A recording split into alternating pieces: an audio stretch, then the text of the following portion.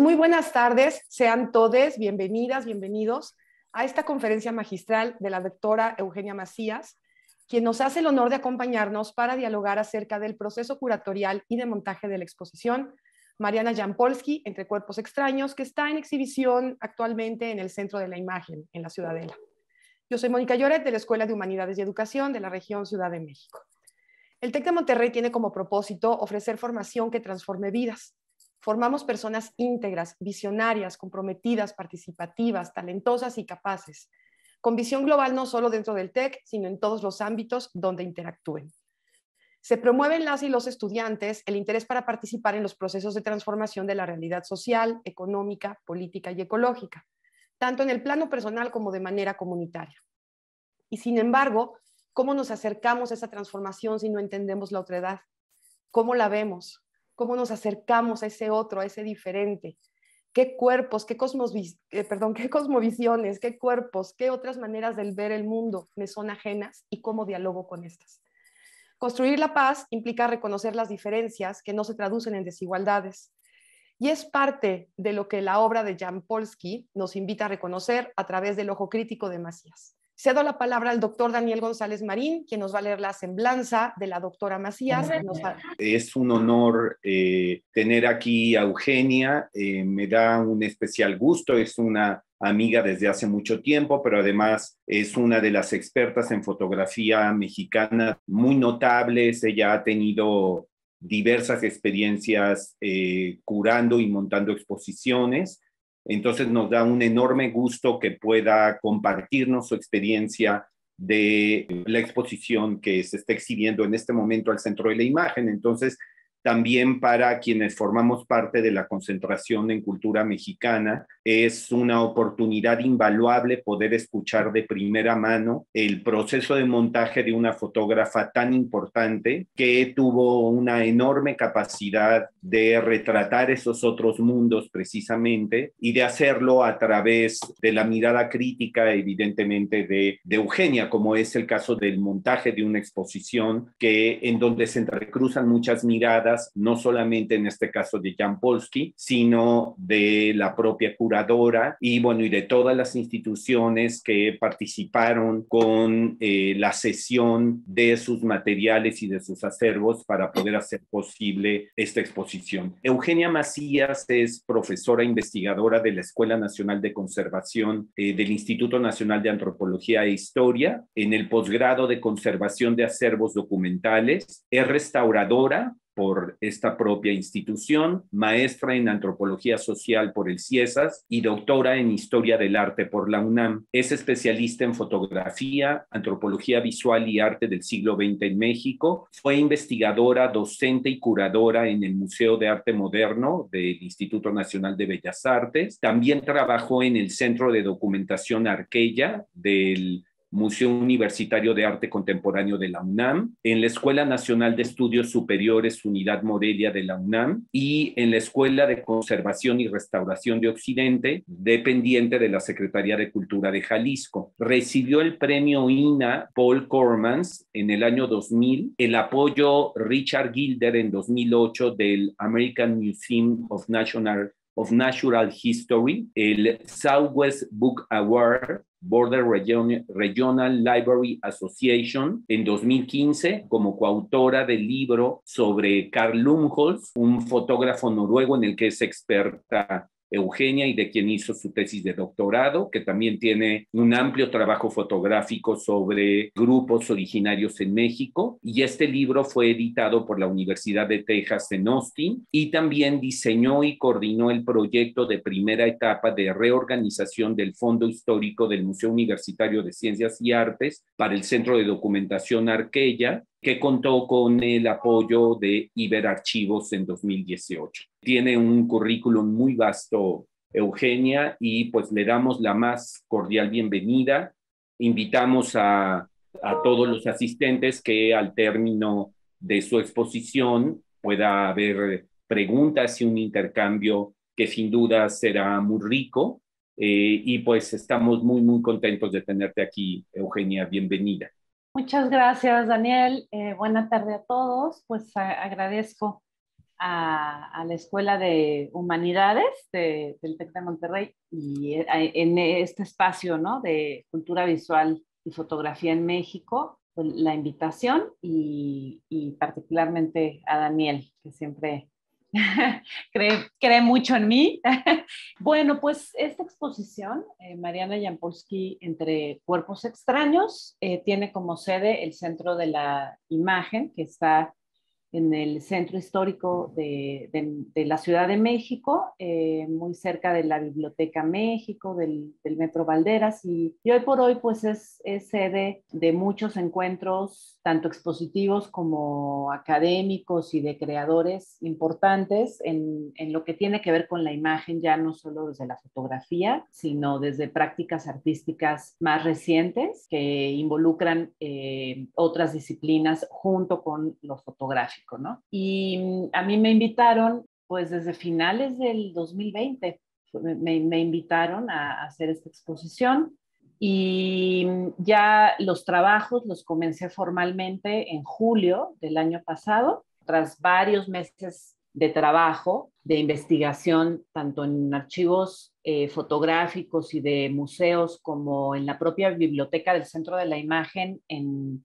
en cuanto a, fuentes vinculadas a Mariana Jampolsky, pues estos fueron los objetivos, eh, estos que ven aquí en la pantalla, fueron los objetivos que yo definí pues muy tempranamente, o sea, esto yo lo definí, no sé, como hacia octubre del año pasado, y, era esta idea de, dar cuenta como en la obra de Mariana Jampolsky, los cuerpos de esos otros que retrató a su paso por distintas poblaciones mexicanas, están plasmados pues en, la transformación constante de, estas personas en relación a su contacto con objetos, personas, entornos, actividades, ¿no? Y me había acercado cuando, cuando llegué esta invitación por una colega aquí, de aquí de la Escuela Nacional de Conservación, que estaba trabajando teoría de los afectos, estaba trabajando particularmente esta autora Sara Ahmed, me había acercado a un texto que es eh, muy importante de ella, que es la política cultural de las emociones, que en 2015 fue traducido al español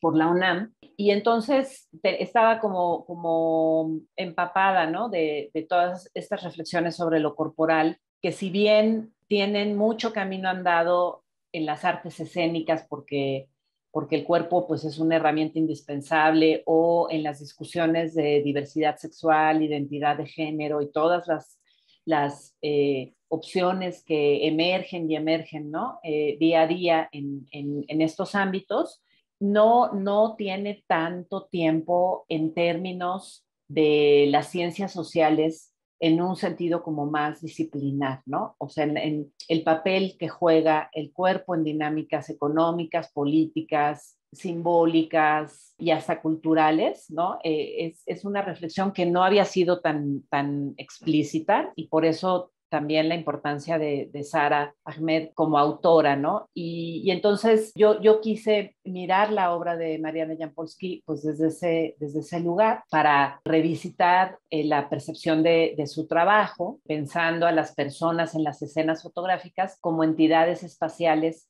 desde su corporalidad, que esta es una reflexión que postularon en, un libro conformado por autores que vienen desde la sociología o la antropología y compilado por Paula Soto y Miguel Ángel Aguilar, que son investigadores de la UAM aquí en México, y planteaban esta idea ¿no? del cuerpo como, como una entidad facial, en proceso, una entidad movediza, cambiante, ¿no? Y esto lo combiné con eh, investigadores y curadores que habían trabajado a Mariana Jampolsky en vida y también de manera póstuma, como es el caso de Francisco Reyes Palma, Alejandro Castellanos, Elizabeth Ferrer, Susan Berler, que entre otras cosas habían enfatizado el carácter directo, verosímil, honesto de sus imágenes, como una mirada de lo colectivo en esas comunidades eh, rurales, indígenas que ella visitó, pero al mismo tiempo eh, señalando otros rasgos en su obra como ciertas características en su composición, que generaban síntesis libres entre elementos realistas y elementos abstractos. No son imágenes meramente estetizantes, ni folclóricas, ni exotizantes de lo, de lo eh, rural indígena en, en, México, sino son imágenes que nos llevan a pensar en procesos más amplios desde su propia eh, visualidad. Entonces, yo estaba como poniendo en juego todos estos elementos porque quería evitar justamente nada más quedarnos en el carácter de fotografía etnográfica, fotografía antropológica, porque eso, eso es ineludible, o sea, eso, eso está en la visualidad de, de, las obras de Mariana Jampolsky y hay más cosas para mirar. Entonces, el, el poder apelar a estas otras perspectivas teóricas recientes eh, al menos aquí en México, en las ciencias sociales sobre, sobre lo corporal y su papel en la vida social, eh, pues nos, nos, nos, permitía este, mirar, ¿no? Mirar más, más cosas. También el, el poder acercar, acercarnos a, a, su trabajo no solo desde las obras fotográficas emblemáticas, que cuando uno busca a Mariana Jampolsky en la red, pues son las que salen de inmediato, que son imágenes que han circulado mucho, sino poder también presentar otras imágenes y otras obras menos conocidas y eh, ponerlas en diálogo con esas que se le han celebrado eh, mucho. Y eh, otro elemento más era el poder también revisar su producción en la gráfica, porque ella llega a México, venía de, Chicago, que fue la ciudad donde, estudió, y llega a México muy interesada en establecer contacto y trabajar con los artistas del taller de la gráfica popular. Entonces, sus primeros años en México, digamos, los primeros 10 años eh, de su trabajo en México es con el taller de la gráfica popular. Entonces, también establecer un diálogo eh, entre su obra fotográfica, que es por la que más se le conoce, y esta obra gráfica de sus primeros años eh, aquí en México y alguna otra obra en otros soportes como eh, la producción cerámica, ¿no? Entonces todo eso eh, está en, en, diálogo, ¿sí? todas estas cuestiones que acabo de platicarles están en diálogo en, en la exposición y a partir de, de, la búsqueda en, en acervos de la Universidad Iberoamericana, que es la que tiene legado de Mariana Jampolsky, o sea, tiene su archivo personal, su colección de arte popular, eh, sus obras impresas de distintos proyectos expositivos que realizó a lo largo de su trayectoria. Entonces, eh, revisé ese, ese acervo, revisé solo las impresiones, porque ese acervo ahorita está en proceso de organización archivística y, también con procesos de conservación. Entonces, eh, no, no pude acceder a todo, ¿no? Eh, a todo este legado, sino a las impresiones de distintos proyectos expositivos de Mariana Jampolsky. Eh, también busqué obra en los acervos del Museo Nacional de Arte, el Museo Nacional de la Estampa. Estos son del IMBAL, del Instituto Nacional de Bellas Artes y, Literatura, eh, la Academia de Artes, que es una, una, institución que pertenece directamente a la Secretaría de, Cultura y que estos tres acervos resguardaban eh, obras del taller de la gráfica popular, ¿no? Entonces, en esta idea de poner a dialogar la producción gráfica de Mariana con la producción fotográfica, eh, apelé a esos acervos, también apelé al acervo documental del Museo de Arte Moderno, también del IMBAL, porque Mariana Jampolsky no solo tiene estas vertientes en la fotografía, en la gráfica y en la cerámica, sino que también hizo proyectos curatoriales, proyectos editoriales. Entonces, en el Museo de Arte Moderno ya fue curadora de la exposición por los 30 años del taller de la gráfica popular y también curadora de la exposición eh, Memoria del Tiempo, que celebraba los 150 años de la fotografía en México. Entonces, el Centro de Documentación del Museo de Arte Moderno eh, conserva hemerografía, eh, materiales de difusión como trípticos y folletos, los catálogos de, estas exposiciones, y era también importante dar cuenta de eso, ¿no? Mariana Jampolsky también curó una exposición en el Archivo General de la Nación sobre un fotoperiodista postrevolucionario, de los primeros fotoperiodistas reconocidos como tales aquí en México, que se llama Enrique Díaz, y se llamaba la exposición de bailes y balas, como un poco dando cuenta pues, de esta amplitud de, procesos sociales que, se daban en distintos ámbitos en el México postrevolucionario y, y la obra de Enrique Díaz pues muy prolija en eso. También fueron muy importantes colecciones particulares eh, de, su primer esposo aquí en México, el doctor eh, Héctor E. Peralta, con quien montó un taller de artes visuales en una chinampa en Xochimilco, que era de la familia de Héctor Peralta, y entonces él conservaba materiales de archivo, pues de esos primeros años de Mariana en México, como en un nivel más íntimo, más personal, más experimentando procesos creativos con otros compañeros creadores, que eran compañeros de Mariana en los ámbitos donde ella se desenvolvía en las artes visuales aquí en México en la década de los 50, de 1950, o amigos como Betraven, el escritor Betraven y todo este halo de misterio que hay alrededor de él, era amigo de, ellos e iba a hacer cerámica al taller de la Chinampa en Xochimilco. Entonces, bueno, encontré ese tipo de documentación con otro carácter muy distinto a la documentación de archivo del, acervo del Museo de Arte Moderno, obra de fotógrafos amigos de Mariana Jampolsky como Rodrigo Moya o Alicia Humada. Esta última incluso le hacía muchas impresiones de gran formato, era la, la responsable eh, o Mariana le encargaba hacer estas impresiones, una, una excelente fotógrafa y muchas, muchas de las obras que ahorita están expuestas en el centro de la imagen fueron eh, impresas por ella. Como les decía, no, no pude acceder a la colección de arte popular de Mariana Jampolsky eh, porque está en proceso de, organización su legado. Eh, entonces, eh, lo que hice fue consultar un libro que es emblemático de las perspectivas del arte popular aquí en México, que se llama Lo efímero y lo eterno del arte popular en México, hecho en la década de los 70. El, eh, dentro del grupo de fotógrafos estaba Mariana Jampolsky y el, y el, grupo era coordinado por Manuel Álvarez Bravo. Y entonces lo que hice fue eh, tomar,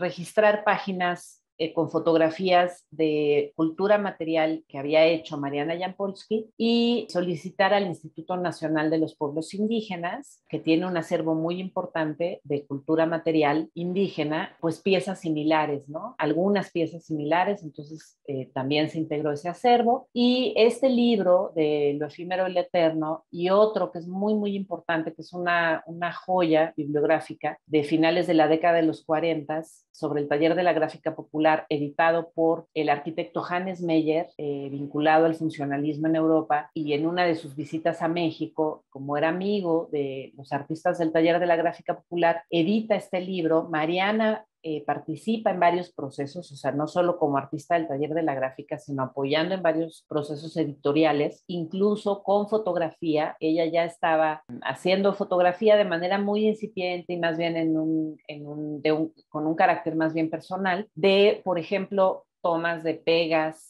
carteles del taller de la gráfica en algunas partes de la ciudad, ¿no? Entonces, esos libros, tanto el de arte popular como este editado por Hannes Meyer del taller de la gráfica popular, los prestó el Instituto de Investigaciones Estéticas de la UNAM, ¿no? Entonces, en esta idea de, de tratar de dar cuenta de una manera más pues amplia e integral de la obra de Mariana, pero eh, yo desde el principio evité la perspectiva de retrospectiva, de una exposición retrospectiva, porque no soy muy afín en lo curatorial hacer ese tipo de exposiciones porque nunca logras realmente abarcar todo, todo lo que implica la trayectoria de un artista o de un colectivo, ¿no? O del tema eh, sobre el que estés trabajando. En términos operativos es también eh, muy incierto si vas a lograr gestionar todos los préstamos de obra o de materiales documentales como para hacer una, una retrospectiva sólida que realmente abarque, ¿no? Como su nombre lo pretende. Entonces yo preferí este acercamiento sobre lo corporal que ya les platiqué, un acercamiento reflexivo más específico y a partir de la revisión de todos estos acervos que les platiqué, yo generé estos núcleos que ven ahorita en esta diapositiva, que son los núcleos curatoriales actuales con los que está estructurada la exposición. A mí me gusta mucho el trabajo curatorial porque estas líneas reflexivas,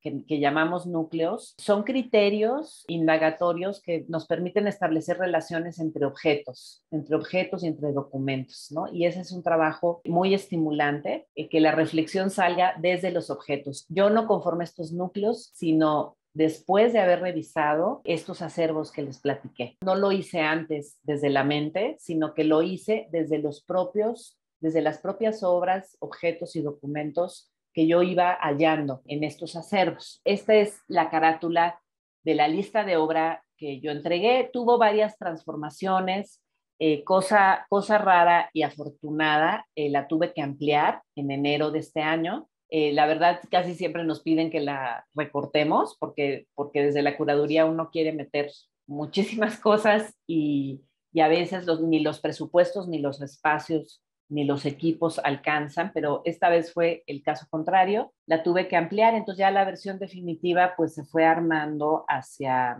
finales de mayo, desde, perdónenme, finales de enero de este año. Un poco como esta plática era no solo sobre la exposición en sí, sino, sino como todos los procesos que están involucrados en la realización de una exposición. Consideré interesante este, que ustedes vieran una versión de lista de obra. Eh, cambia mucho, o sea, depende de cada institución. Este es el formato que a mí me, me dieron en el centro de la imagen y después esto se pasó a un Excel que permite de manera más flexible para quienes piensan que el Excel está peleado con las humanidades. Yo lo pensaba hace algunos años, pero el trabajo curatorial y el trabajo en archivos, la verdad es que lo hacen una herramienta muy útil y muy maleable. Entonces, pues de esta versión inicial en Word se generó una, una versión en Excel y la lista de obra es una, una gran matriz muy, flexible que, te permite sacar distintas versiones para la gestión de los préstamos con cada colección, para los avalúos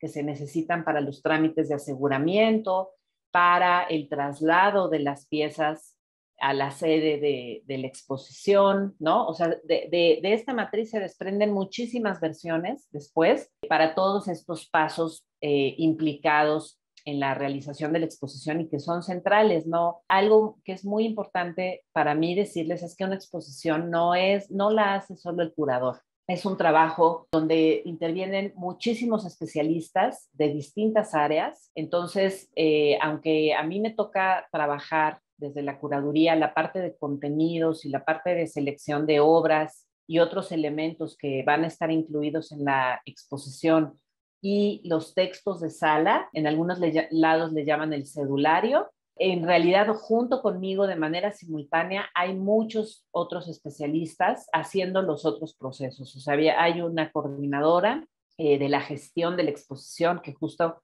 es quien tramita toda la cuestión de los préstamos con, con, los distintos acervos y coleccionistas, es quien hace el trámite del aseguramiento eh, de estas obras se le llama de clavo a clavo. Esto quiere decir desde el momento en que salen de la colección o el acervo sede hasta que vuelven a regresar ahí, ¿no? El aseguramiento abarca eh, todo eso. Por supuesto, las obras, los documentos son insustituibles, pero mm, es una, el aseguramiento es una herramienta muy útil para cualquier tipo de vicisitud que pueda suceder, ¿no? Este, desde un accidente en el traslado hasta un robo, hasta algún accidente en el montaje mismo o los propios procesos de deterioro físico-químico que operan en la materialidad de las obras, donde a veces al término de un, de un periodo de una exposición hay obras que presentan deterioros por su propia composición, por los propios materiales que las constituyen o rasgos de las técnicas con las que fueron hechas. Y entonces ahí, en todos estos casos que yo les estoy mencionando, pues entran los, entra justamente el aseguramiento para poder dar solución a alguna de estas problemáticas, ¿no? Entonces, eh, es un paso pues muy, muy importante y la lista de obra pues es muy útil, pero además, bueno, a mí me gusta hacer también este tipo de distinciones como las que ven aquí arriba, o sea, yo hice esta clasificación en cada ítem de la lista, en cada elemento de la lista. Bueno, la obra que fue añadida en enero, por esto que les digo de que la exposición se creció, la obra que va a muro, que es la que es considerada obra artística propiamente, obra vitrina, que, algunas son artísticas y otras son eh, documentales. De las obras artísticas, las que eran tridimensionales y requerían base y capelo, y eh, las que van a ser reprografías, tanto documentales como de obra a muro, ¿no? O sea, esta exposición tuvo reprografías, reproducciones de las dos maneras, tanto de, de cosas que eran documentales y que iban a vitrina, como de fotografías que no existía una impresión con calidad de exhibición y entonces se generó una nueva impresión con esa calidad, ¿no? Para ser exhibida. Estos, estos son ejemplos de las listas que me mandaron, ¿sí? De, los, de las instituciones, también para que conozcan. Hubo algunas, justamente por estar en estos tiempos de pandemia, ¿no? Aunque parece que nos acercamos al final, ¿no? De, de esto o ya esta nueva vida donde tendremos que incorporar precauciones, hubo acervos en los que yo no pude ver la obra directamente por los protocolos eh, de la pandemia y me mandaron eh, este tipo de listados y entonces yo ya eh, elegía. De aquí es la obra de hasta abajo la que finalmente quedó exhibida. Y el propio centro de la imagen contaba con obras fotográficas de Mariana Jampolsky. Eso también fue lo que detonó hacer esta exposición. Hubo un convenio entre la Universidad Iberoamericana y el Centro de la Imagen y se donaron al Centro de la Imagen las obras de una exposición muy importante que hizo el curador eh, Francisco Reyes Palma en, en, 1998, que era muy amigo de Mariana Jampolsky, con ella todavía viva, y esa exposición se llamó Imagen Memoria. Es una revisión muy, muy importante que a mí me, me, me, dio como mucha luz en el ponderar qué era importante incluir o considerar, ¿no? Para esta exposición que yo hice ahora. Y entonces la Ibero donó todas esas fotografías y claro, había ese peso, ¿no? O sea, yo no podía reproducir imagen memoria, había que dislocar los ejes que había trabajado este curador y proponer otra, otra lectura, ¿no? Entonces, bueno, se hizo esa donación, y el 3 de mayo de este año se cumplieron 20 años del fallecimiento de Mariana Jampolsky, entonces también era ese otro eh, factor el que impulsó eh, que se hiciera la, esta exposición y eh, además de esa donación, el Centro de la Imagen tenía algunas, algunas obras de Mariana Jampolsky de manera previa ya, tiene un fondo que es muy importante y que ha, ha tenido varias relectura recientemente que se llama Consejo Mexicano de la Fotografía, que fue un proceso que mm, estimuló muchísima reflexión y muchísima creación e intercambios en el panorama de la fotografía, no solo al interior de México, sino en Latinoamérica, en las décadas de los 70s y 80s aquí en México. Entonces, Mariana Jampolsky participó en algunas de esas exposiciones y por eso el Centro de la Imagen contaba con estas otras obras que también consulté y evalué pues cuáles considerar en la exposición. Entonces, bueno, estos eran algunos ejemplos que vieran ustedes, ¿no? De por dónde comienza el trabajo curatorial. Por supuesto, fue súper importante hacer revisión bibliográfica. Eh, estas fuentes que ven aquí fueron muy, muy importantes para afinar los enfoques curatoriales eran catálogos. Este es el catálogo de esta exposición Imagen Memoria que les menciono. Este es un catálogo de una exposición póstuma de homenaje que también fue muy iluminador para mí. Y este libro publicado en los Estados Unidos con Francisco Reyes Palma y investigadoras en el extranjero también me fue muy útil para tener como una perspectiva más global de lo que había sido la trayectoria de Mariana Jampolsky, cómo se le valoraba. Pero por otra parte, o sea, esto, estos tres libros me guiaron mucho en mi elección de las obras en los distintos acervos que consulté, pero los de abajo fueron súper importantes para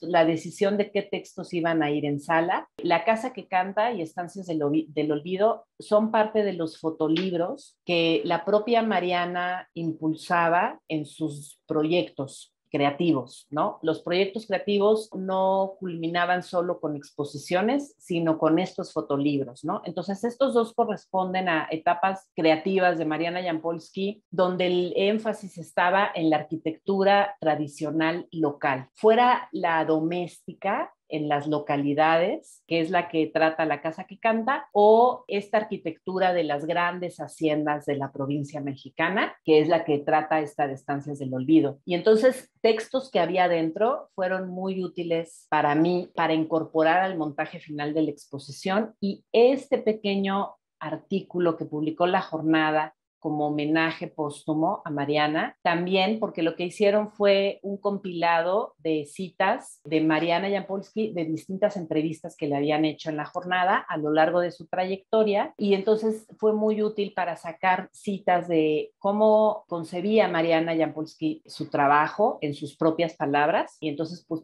poder recuperar también esa voz, ¿no? No solo su voz como creadora visual y plástica, sino desde lo reflexivo, ¿no? Les voy a mostrar algunos ejemplos de las obras que están en, los distintos núcleos. Entonces, este primer, primero, Serie Star, que atiende la, estos retratos, que lo que pesa en ellos es la presencia de la persona, como el que estamos viendo aquí, de Ixtaltepec, Oaxaca. Ven esto así pixeleado porque tuve muchas reuniones con las distintas áreas del equipo del centro de la imagen, la, de, la coordinación de exposiciones, museografía, diseño, editorial, difusión. Y entonces, este, pues yo les, les, les explicaba esto mismo que les estoy eh, platicando a ustedes y una primera idea museográfica que a mí se me antojaba mucho, así me hacía mucha ilusión, era escoger de algunas de las obras de Mariana Jampolsky puntums, puntos así, eh, tratando de aterrizar esta categoría tan afortunada que generó Roland Barthes en su última obra, que además editó póstumamente y que él estaba transitando de su carrera a la, por la filología, por, el, análisis discursivo de lo textual. Él justo estaba transitando también hacia las imágenes cuando falleció en un accidente y en la cámara lúcida, como seguro ya todos ustedes saben, pues él plantea esta categoría de puntum como ese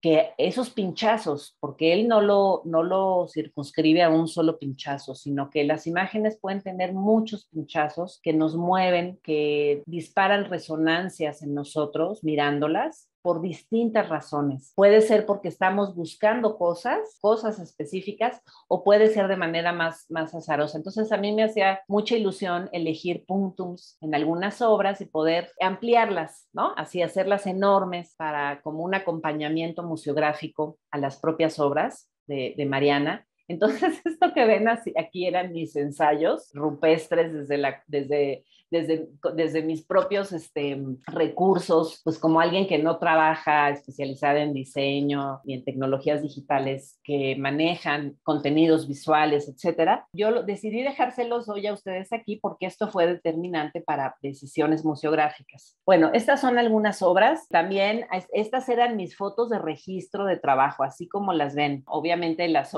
las impresiones de exhibición pues tienen otra, otra calidad y bueno, son algunos ejemplos de las obras, lo que les decía de la puesta en diálogo la, entre la producción gráfica y la producción fotográfica. Mariana Jampolsky se formó como fotógrafa blanco y negro en un momento en que la tecnología fotográfica lo que estaba más en boga eran los procesos blanco y negro y su revelado en el cuarto oscuro. Su profesora fue nada más y nada menos que Lola Álvarez Bravo, de quien hay también una exposición muy interesante que les recomiendo mucho, también ahorita abierta a público en el Museo Carrillo Gil, que también establece este diálogo entre materiales de archivo y, obras fotográficas de distintas facetas. Y bueno, Lola Álvarez Bravo, que había sido esposa de Manuel Álvarez Bravo y que justo aprende con él a hacer fotografía, fue maestra de Mariana Jampolsky, de las técnicas blanco y negro. Pero Mariana, algo que a mí me queda, yo no la conocí personalmente y sé que eso es una, una cosa de la que carece mi aproximación, aunque, aunque también por otra parte, esa distancia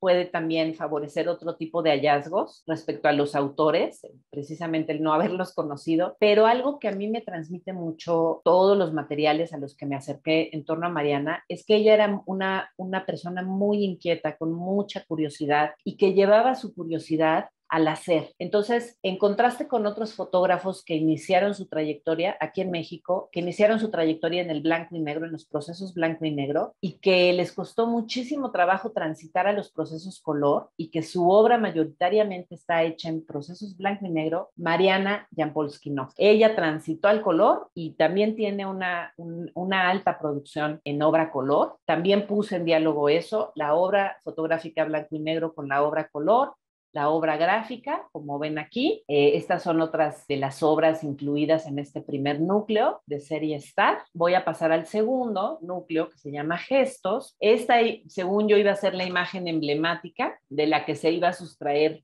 algún puntum para los apoyos eh, museográficos. Y aquí, aquí hay una cosa muy interesante. Mariana Jampolsky, esta es otra cosa que me transmite a mí desde su obra, tenía una alta capacidad de empatía y de cercanía con la gente. Sus tomas, por eso, por eso no tienen como la rigidez de los registros antropológicos académicos y tampoco las escenificaciones o el ser tomas construidas con la gente posando, ¿no? Que es otra cosa que luego suele pasar con estas fotografías hechas en comunidades rurales indígenas. Eh, sus fotos no, sus fotos son más espontáneas, se siente esa cercanía que ella lograba con las personas estando en los lugares. Entonces yo encontré dos tipos de gestos. Los gestos del ámbito ritual, esta gestualidad que involucra el cuerpo, los accesorios, las vestimentas, la proximidad, entre grupos rituales participando de alguna festividad o ceremonia, la movilidad corporal dentro de las danzas. Encontré muchas fotos en esa vertiente y fotos en otra vertiente que es más personal, íntima, privada, de la gente en sus casas,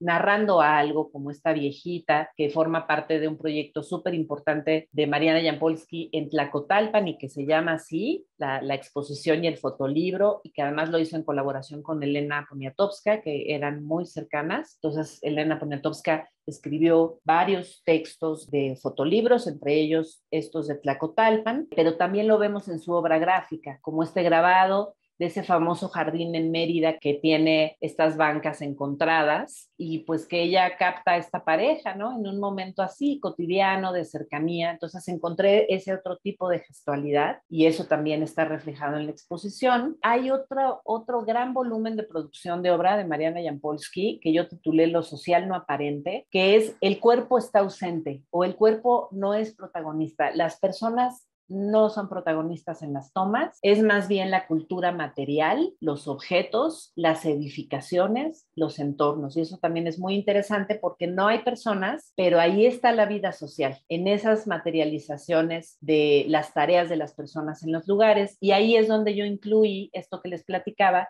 de este libro, de lo efímero y lo eterno, del arte popular. La elegí eh, fotografías de Mariana Jampolsky dentro de ese libro y solicité al INPI. Por ejemplo, esta es de, una colección eh, particular, pero hay otras dos piezas que son del, del INPI. Y estos son ejemplos de las tomas que conforman ese núcleo. No hay personas o si las hay, su corporalidad o ellas en sí están en un segundo plano porque lo que domina en el, encuadre son otros elementos, como estos bordados, ¿no? Por ejemplo. Además, esta, esta impresión de la falda huichola la agrupé junto con otras tres que estaban impresas en la técnica de platino, que es una técnica súper interesante de las técnicas históricas de la fotografía, muy en boga en los últimos años del, siglo XIX y los primeros del, del, siglo XX, porque la sustancia fotosensible es justamente el platino, no, no la plata. Eso hace que la resolución de detalles, la minucia en los detalles sea mucho más alta que en una toma eh, más convencional de impresiones plata gelatina, que era la técnica pues más, más recurrente, pues fue la técnica más, más usual, además era más barata que la del platino por los componentes, por el precio de los componentes químicos, eh, a partir de los últimos años del siglo XIX y hasta bien entrado el siglo XX, ¿no? Pero no tiene la calidad de resolución visual que tiene el platino, entonces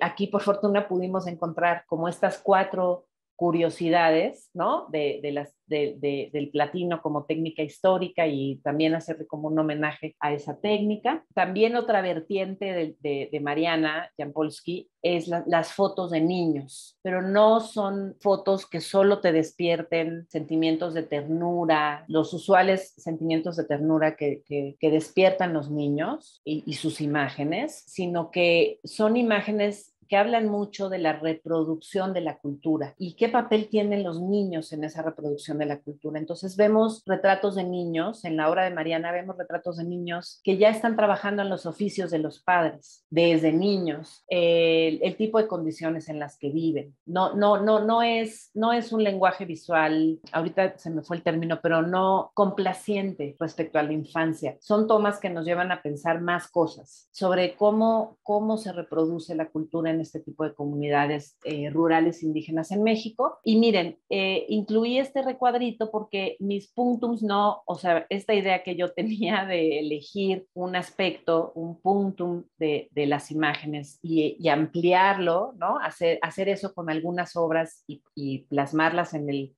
en lo museográfico, en la exposición, no fructificó pues por los formatos de las tomas originales, temas presupuestales, etcétera, pero eso, eso decantó en generar este tipo de emblemas por cada núcleo. Este era el emblema de este núcleo, Futuros Posibles, que además, pues yo lo titulé así con esa pregunta, porque es algo que tenemos que preguntarnos frente a las problemáticas contemporáneas, no solo en México, ¿no? sino a nivel mundial. ¿Qué les espera a las infancias en medio de las guerras, el calentamiento global, la pobreza, ¿no? Eh, o sea, es algo que, que hay que seguirnos preguntando, ¿no? Eh, además de todo eso que nos despierta en las infancias, ¿no? O sea, todo ese potencial de ternura que sí despiertan las infancias, pero también está este otro lado, ¿no? Estos emblemas, el equipo eh, de exposiciones del Centro de la Imagen los sustrajo de algunas de las obras incluidas en la, en la exposición y entonces eh, se pusieron como emblemas de cada núcleo. Entonces, aquí pongo este como ejemplo, ¿no? Este fue el emblema para este núcleo de futuros posibles. Estas son algunas de las obras, de nuevo el diálogo entre gráfica, por ejemplo, esta de Queremos nuestras escuelas, de la Academia de Artes. En la Academia de Artes las obras de gráfica que preserva de Mariana Jampolsky son realmente muy buenas. Además es algo que fue muy con mucho potencial, fue ver esta versión de ella como una excelente dibujante, o sea, como la, ver, ver en, en, estas impresiones y en placas de linóleo, que todavía no les he mostrado, esta alta capacidad de trazo minucioso para plasmar estas escenas en las placas y que luego se iban a la impresión, ¿no? O sea, el acercamiento hacia la gráfica de Mariana permitió ver esas cualidades de ella como creadora y ponerlas en diálogo con sus cualidades ejerciendo el oficio fotográfico en este tipo de encuadres. Les digo, con esta capacidad de cercanía, donde ella podía captar estas escenas, pues que son de intimidad familiar, pero en el espacio público, que es algo que suele darse mucho en la vida en las comunidades eh, rurales. Estas son otras escenas y otras obras incluidas. Esta, El mandil y La sal se pone morena son de las obras celebradas, muy, muy celebradas, de Mariana Jampolsky. Y esta, Dos máscaras, con este niño completamente adentro, así como, como agente activo de la reproducción de su cultura, ¿no? En, en la vida ritual. Esta es menos celebrada. Entonces también les digo, ese diálogo está establecido todo el tiempo en la exposición entre obras muy, muy celebradas, muy, muy comentadas, muy conocidas y obras que no lo son tanto. Hubo también un núcleo sobre trabajo, recursos y oficios. Era ineludible porque hay muchísima obra de Mariana que que trata esto en dos vertientes. Esos trabajos que se abocan a extraer recursos de los entornos, explotar lo que hay en los entornos y esos trabajos que son el ejercicio de oficios, como esta imagen, ¿no? Que, que era la que yo inicialmente postulaba como emblemática del núcleo. Evité poner en el inicio de cada núcleo imágenes de las muy conocidas y muy celebradas. Preferí poner estas imágenes menos conocidas, justamente para como aprovechar y, y, mostrar otras cosas del trabajo de Mariana Jampolsky. Estas son otras escenas. Ahí tenemos de nuevo el diálogo entre la gráfica y lo fotográfico. Estas, por ejemplo, pertenecen más a esa línea de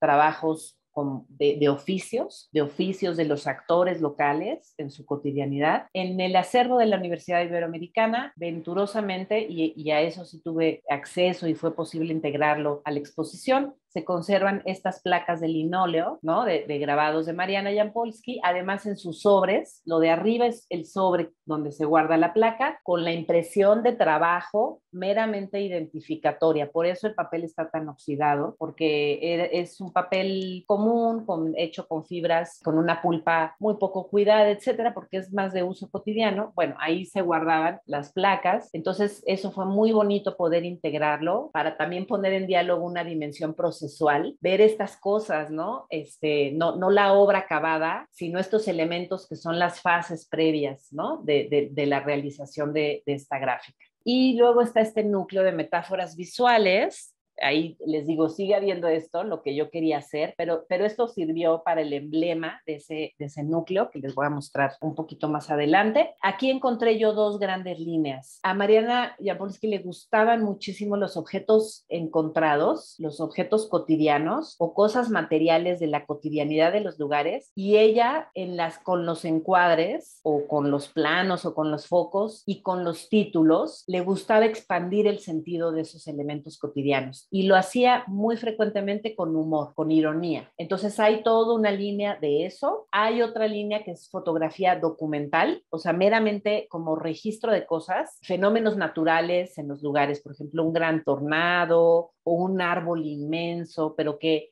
esa visualidad también es metafórica, también nos, nos, nos despierta a nosotros como espectadores otras reflexiones que no tienen que ver con el árbol propiamente, con el tornado, ¿no? Y otra gran línea es la que la conecta a ella con los fotógrafos modernistas en México de la primera mitad del siglo XX. Es la que la conecta con Tina Modotti en sus etapas aquí en México, con Edward Weston en su etapa aquí en México, con Lola y Manuel Álvarez Bravo, con Agustín Jiménez, no solo cinefotógrafo, sino fotógrafo experimental, que son estas composiciones formales, como la, la que estamos viendo, nítida, o sea, no, no, no me aumento como se podía, sino la, pieza completa, también tiene un, gran cuerpo de obra así, con estos encuadres, con una composición muy cuidada, eh, muy estudiada, con un manejo virtuoso del oficio fotográfico y que ahí ella guarda continuidad con estos primeros fotógrafos del siglo XX que dieron autonomía expresiva a la fotografía en México, a la visualidad fotográfica, que la,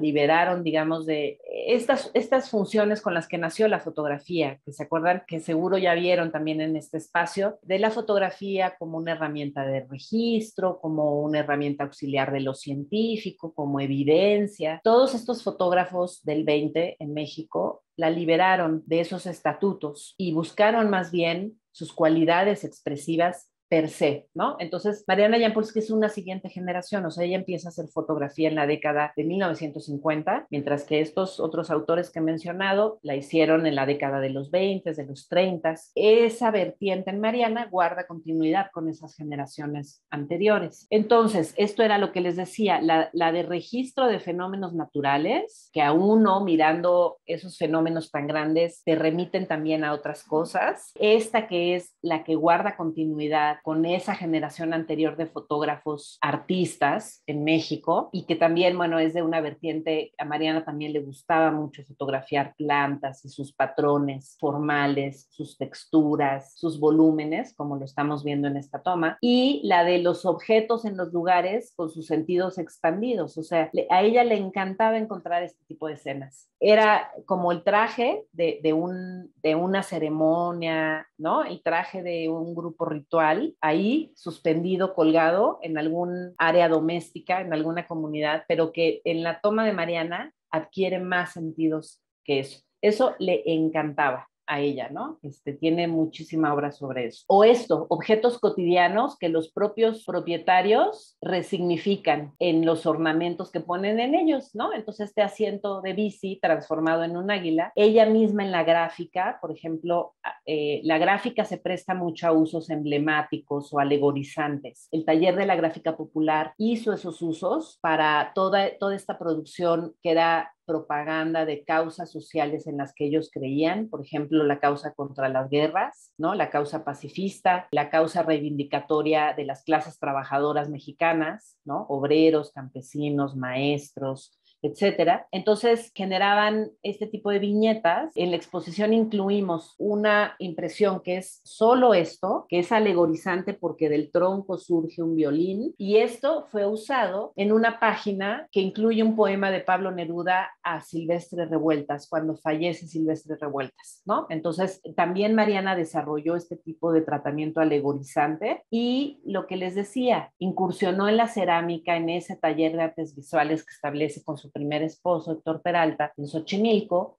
y estas son piezas de cerámica que, que, ella hizo. Fue muy fortuito, o sea, ahorita ya que les estoy contando así todos los pormenores, fue muy fortuito cómo accedimos a estas piezas. El gran fotoperiodista Marco Antonio Cruz, falleció repentinamente en 2021, iba a ser asesor de esta exposición porque él conocía muy bien a Mariana y a los familiares de Mariana, Jan Polsky, y entonces él le, le, había comentado en el centro de la imagen, antes de que yo me integrara al proyecto, con él se estaba viendo toda la gestión de la donación de la obra de Mariana Jampolsky en la, en la Universidad Iberoamericana a, al centro de la imagen. Les había dicho justamente que Héctor Peralta eh, tenía estas piezas cerámicas de Mariana, pero fallece y como que ahí parecía que ahí se había perdido el enlace. Y un día yo yendo a, ver como mera espectadora una, unas exposiciones al Museo de Arte Carrillo Gil, eran las exposiciones de Juan José Gurrola, me acuerdo muy bien,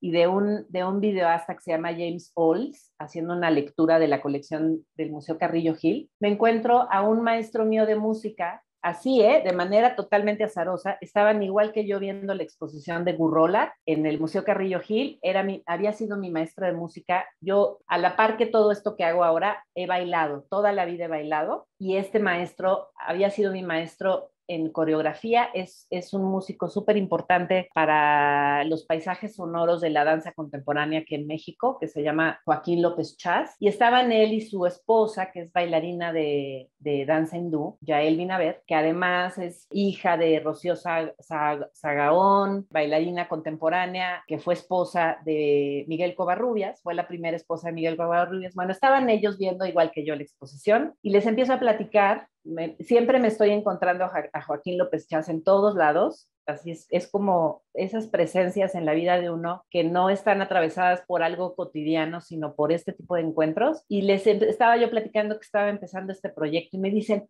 oye, nosotros conocemos a su primer esposo. Y así fue como se dio el enlace hacia esta maravillosa colección y poder tener estos materiales inéditos, porque no son materiales que se hayan mostrado nunca en una exposición, en esta exposición y pues poder tener esta vertiente de Mariana Jampolsky presente, ¿no? En este acercamiento. La exposición termina con este núcleo que yo planteé como otras Marianas, justamente para hacer visibles estas otras facetas de ella, no solo como fotógrafa, no solo como grabadora, no solo como ceramista, sino como curadora y como editora, no solo editora de sus fotolibros, sino de otros proyectos editoriales Muchos eran encargos y otros eran por gusto. Yo crecí leyendo una colección que se llamaba Colibrí, que mi madre compraba los fascículos en el puesto de periódico semana con semana y los, los fue encuadernando y amaba, amaba, amaba esa colección y resultó que Mariana Jampolsky era la coordinadora editorial, ¿no? Entonces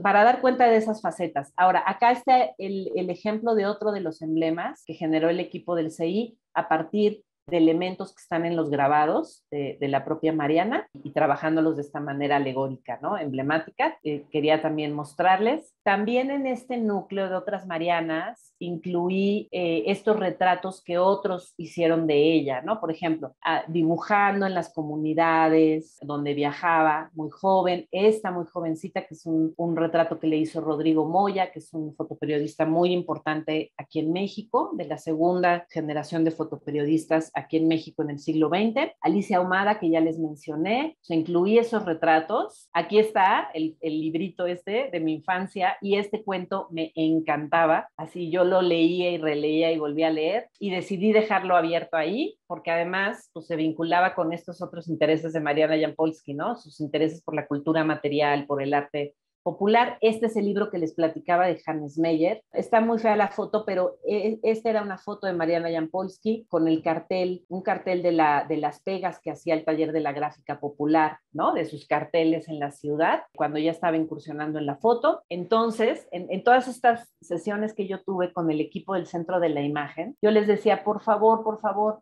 tenemos que ensuciar la exposición, les decía yo, tenemos que ensuciar el montaje, que no sean estas fotos, estas exposiciones de, fotografías etnográficas súper limpias, que nada más vamos a promover lo mismo de siempre, ¿no? La estetización de lo rural indígena, la exotización. Entonces, todo esto fueron mis investigaciones, también quise, o sea, platicárselos aquí ya que podía hablar de todo. Como Daniel platicó, pues tengo también esta formación de antropóloga, hice trabajo de campo en comunidades rurales en Michoacán, en Oaxaca, en Guerrero, en distintas fases, ¿no? De, mi vida. Y entonces yo por eso les decía, es que la vida en las comunidades, pues es dura también, o sea, hay muchas problemáticas, es compleja, entonces tenemos que ensuciar la exposición, les decía yo al, al equipo, ¿no? Les decía, hay que hacer que irrumpa esta complejidad de la vida rural indígena, de algún modo. Entonces yo les traía estas cosas, ¿no? Les decía, pongamos este tipo de cosas, ¿no? Que son parte de la cultura visual en las comunidades, o estas, les decía yo, desesperada, ¿no? Así, eh, de cosas que yo me había encontrado recientemente, ¿no? De, en, el centro histórico de Oaxaca, pues hay estas pintas de, de, colectivos de artistas, esta que estoy señalando, esta de guerrilla visual, estas otras son del plantón que agrupaciones indígenas tienen actualmente en las instalaciones del Instituto Nacional de los Pueblos Indígenas, que están cerca de mi casa, yo vivo cerca de la Cineteca y este es un edificio que está en la Cineteca, muy cerquita, y tienen estas pintas. Y entonces yo decía, pónganles, esta, pongan así, o sea, sembremos, así les, les, decía, sembremos estas mazorquitas con pasamontañas, fragmentos de estas cosas o de, de, estos carteles de colectivos. Eh, este es del colectivo Gran OM, o sea, son colectivos militantes, de artistas militantes de estas causas. Entonces yo les decía, esto y también esto, porque el centro de la imagen es un espacio muy difícil, es un espacio que no permite como una secuencialidad ni un ritmo en el recorrido, porque porque son una serie de pequeños compartimentos y luego se abren las escaleras para pasar al segundo piso. Entonces, yo, yo lo vivo como espectadora. Muchas veces mi, mi experiencia de una exposición se fragmenta porque la arquitectura te lleva hacia otro lado,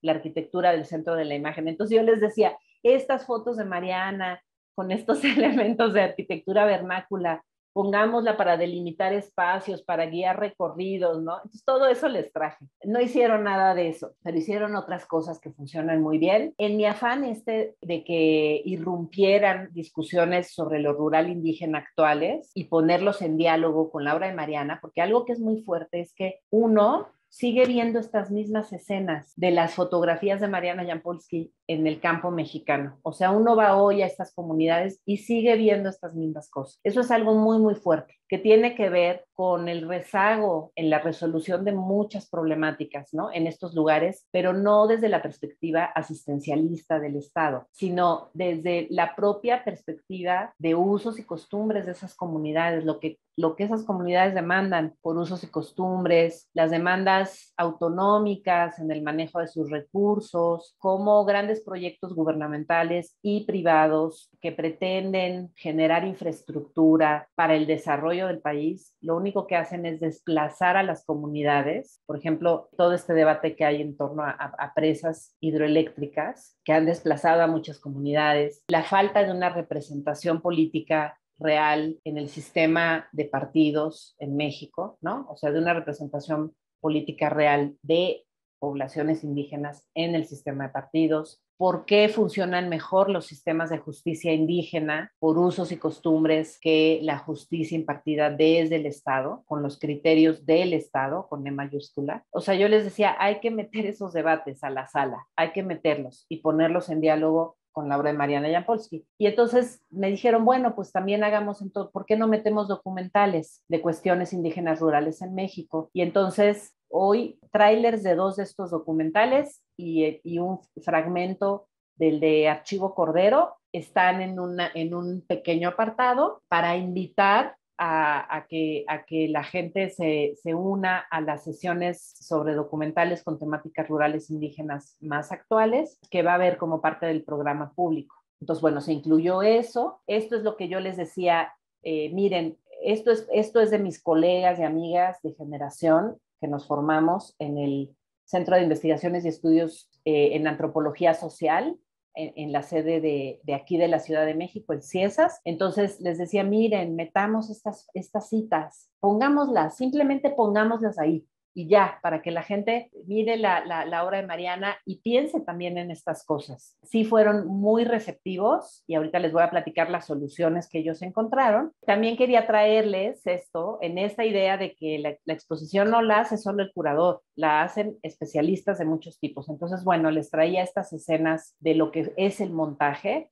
Esto es, por ejemplo, la fase de presentación de las obras en el espacio o sea, yo elijo las obras por núcleo y luego el equipo de exposiciones hace un aproximado a, la distribución de esas obras en el espacio, a, la distribución de las obras en las distintas salas que están disponibles para esta exposición. Se llevan ahí las obras y se hace una presentación. Y esto yo lo trabajé, eh, eh, él es Diego Gaitán, que es el coordinador de exposiciones del Centro de la Imagen, él coordina a los diseñadores y a los museógrafos que materializan el montaje y con él yo tuve sesiones para distribuir la obra. Yo estoy peleada con estas exposiciones que uno ve así, sucesiones interminables de obras distribuidas así uniformemente a lo largo del muro no me gusta distribuir así la obra en las exposiciones y lo que hice fue formar pequeños subgrupos con mayor proximidad por elementos comunes que yo veía que estaban plasmados en la visualidad. O sea, sí dentro del núcleo temático, de los núcleos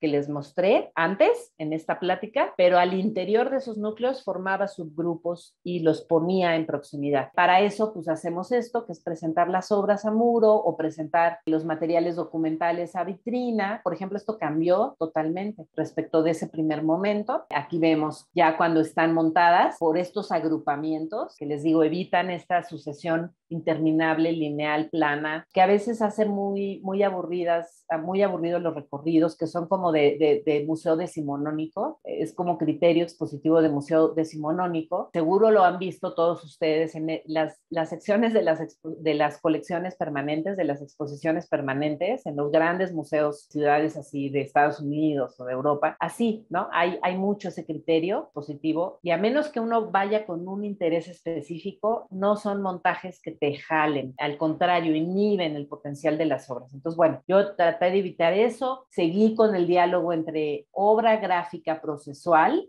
la placa, el sobre, obra gráfica terminada y fotografías, o sea, yo seguí todo el tiempo con ese diálogo. En estas escenas ya están montadas a muro y una fase siguiente es distribuir sus cédulas o las fichas técnicas. Entonces se van dejando ahí, que ya están en las obras donde se puede, pues se dejan ahí encima de la obra y en obras donde no, no hay cómo sostenerlas se dejan ahí abajo, ¿no?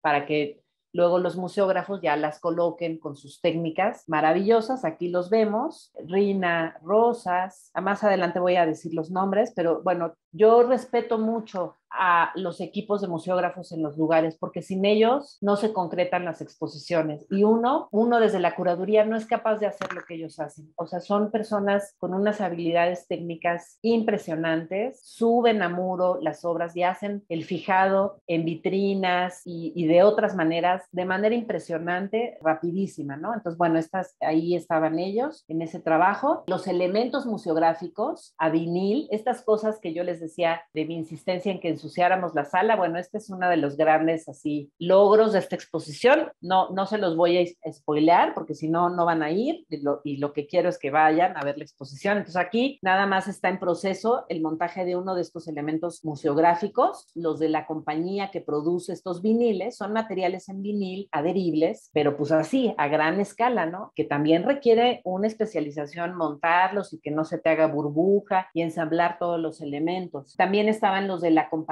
que ve la iluminación, que modula, cambia los focos, pone filtros en las luminarias y hace todos los cálculos para evitar este tipo de patrones. Aquí todavía eran luces de trabajo con este tipo de escaleras, entonces estaban en esa fase, el diseño de iluminación, los comisarios de las colecciones, esta escena que vemos abajo son los comisarios de las colecciones, hay colecciones que mandan a sus comisarios, es decir, especialistas que están monitoreando el manejo manejo que se hace de la pieza, hacen el levantamiento, se, se les llama reporte de condiciones, un formato donde se establece cómo llegó la pieza, y ese formato lo llenan tanto los comisarios de las colecciones como la conservadora del centro de la imagen, porque para efectos de seguro es muy importante que tanto colecciones como centro de la imagen o sede de la exposición tengan su evidencia de cómo llegó la pieza, porque si pasa algo, ahí está el comparativo y entonces es que eh, entran en funcionamiento los seguros. Revisaba, hacían eso, el reporte de condiciones y también monitoreaban cómo se instalaban las obras. Por ejemplo, estas que está aquí en la mesa, que es un cántaro de barro de Chiapas, estaba un mecanismo especial con unas varas de sujeción. Entonces ellos se quedan hasta que todo eso se completa. Y bueno, ahora sí, las escenas, no, tampoco les traje de todo, porque dije, pues no, no, se las voy a spoilear, les voy a adelantar el, concretamiento de la exposición y pues no, el chiste es que vayan, porque no se compara para nada lo que yo les estoy platicando con el estar ahí, el ir, ¿no? Ahí y estar. Entonces, bueno, ya esto es con escenas con público, cómo quedó la resolución de los textos por núcleo, con su emblema, lo, que les digo de los montajes por subgrupos, de acuerdo a elementos visuales comunes, la relación entre obras a muro y obras a vitrina. Esto que yo dije, una placa, o sea, un elemento procesual tratado como obra a muro, que además era una placa preciosa con un trazo muy minucioso, muy fino y puesta junto a una gráfica como obra. Y resultaba que estos, Héctor Peralta cuando vio la exposición, así vio la obra y dijo, ay, mi hermano, y siempre usaba esa chamarra y lo enterramos con esa chamarra, ¿no? O sea, de pronto uno se enteraba de ese tipo de anécdotas. Esto, por ejemplo, es parte de, la, de, la, de los elementos museográficos con los que el equipo decidió hacer estas irrupciones de lo rural indígena actual respecto a, a la obra de Mariana, ¿no? Y evitar este espacio así pulcro, aséptico, limpio, que entronizara así las obras, pero que nos olvidáramos de la realidad. Entonces hubo estas intervenciones que fueron retomadas de elementos visuales de las propias obras de Mariana. Lo que les decía hace rato, la relación entre las obras a muro y las obras a vitrina. Esto es en el núcleo que les decía yo que no hay cuerpos en las escenas, no hay personas,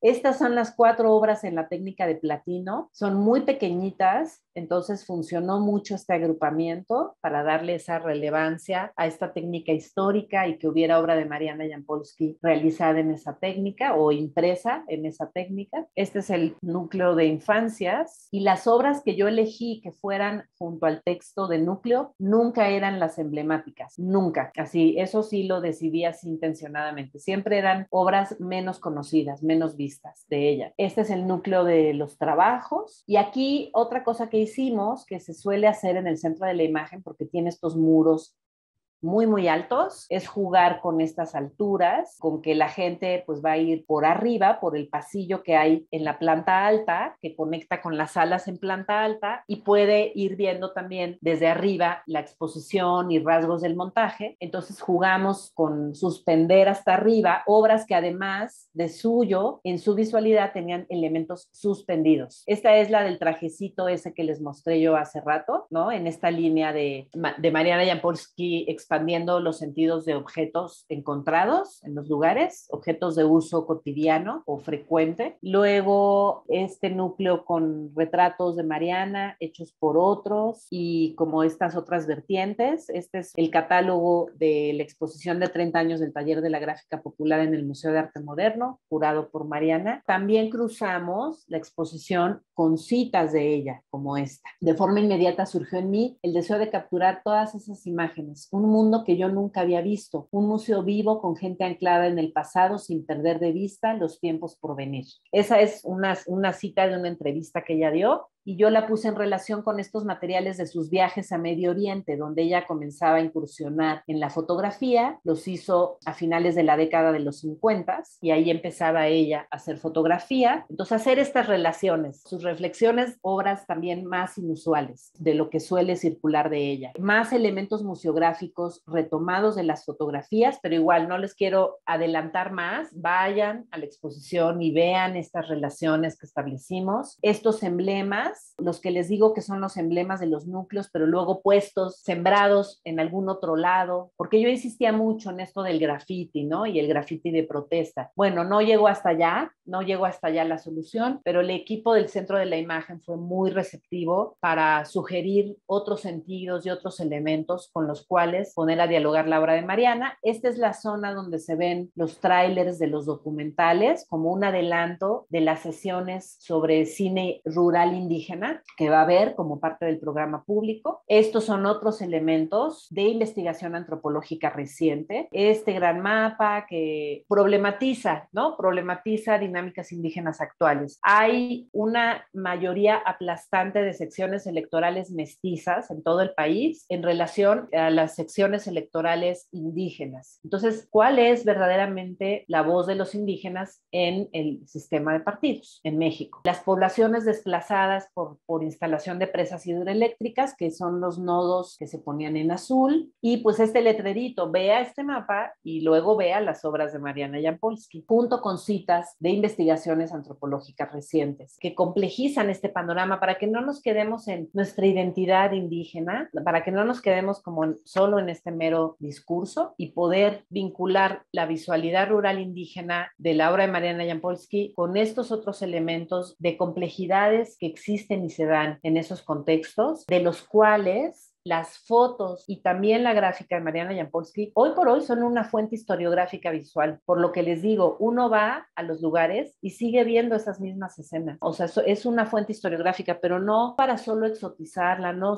no para solo estetizarla, sino para, para pensarla en estos términos, o sea, de los procesos complejos que ahí ocurren, ¿no? Que ocurren en esos contextos. Este es el último elemento y Joan Trujillo es la directora del Centro de la Imagen la, la, persona que coordinó la gestión de préstamos, de aseguramientos, de traslados es Fabiola Hernández Olvera y la asistió Constanza Nieto. Todo los, el acceso a los fondos del Centro de la Imagen con obra de Mariana Jampolsky, los fondos fotográficos y bibliográficos fue posible por Abigail Pasillas, Luis Alberto González, Mariana Huerta. Las reprografías de algunos de los libros y de las copias de exhibición fotográficas de las que no había impresiones adecuadas y también también las reprografías o las, fotografías en alta resolución para el cuadernillo de la exposición, que ahorita voy a cerrar la plática con eso, las hizo Elic Herrera. Y luego el equipo de exposiciones dirigido por Diego Gaitán fue eh, Cecil Bolaños, eh, Mario Domínguez, Rina Rosas, Antonio Gutiérrez y Jesús Torres, que son las personas que vieron ahí montando las cosas en vitrina o las que hicieron los emblemas ¿no? Estos emblemas en cada núcleo y pues también el equipo de publicaciones que ahora verán en total consonancia y diálogo con la exposición, que son Alejandra Zamudio, Alejandra Pérez Zamudio, que tiene muchísimos años trabajando en Centro de la Imagen en el área editorial, Pablo Cepeda y Constanza Dosal y las personas de, de programa público y mediación, que con ellas hubo mucho diálogo precisamente para armar este, este programa público, ¿no? Principalmente con Cecilia Miranda. Y este es el cuadernillo, también no se los voy a de una vez todo, apúrense a ir a ver la exposición, porque ahorita hay una parte del tiraje ahí en sala, en los horarios en que está abierta la exposición y se obsequia. Entonces apúrense antes de que se acabe el tiraje para que puedan llevarse el cuadernillo. Se decidió esta, que era congruente con el título de la exposición Mariana Jampolsky entre cuerpos extraños, porque aunque no hay un cuerpo ahí, sí hay una corporalidad social, ¿sí? Articulada. Y, y luego en la contraportada, esta foto de Mariana haciendo una escultura de gran formato en cerámica, o sea, de estas cosas inéditas. Su padre era escultor, entonces también por ahí, y en la exposición se exhiben los estiques de gran escala que usaba el padre para hacer escultura y que ahora usa la esposa de Héctor Peralta, que es una escultora, se llama Olin. Algunas de las páginas del cuadernillo se pusieron en juego los emblemas de los núcleos, las citas textuales, tanto de Mariana como de investigadores en antropología recientes con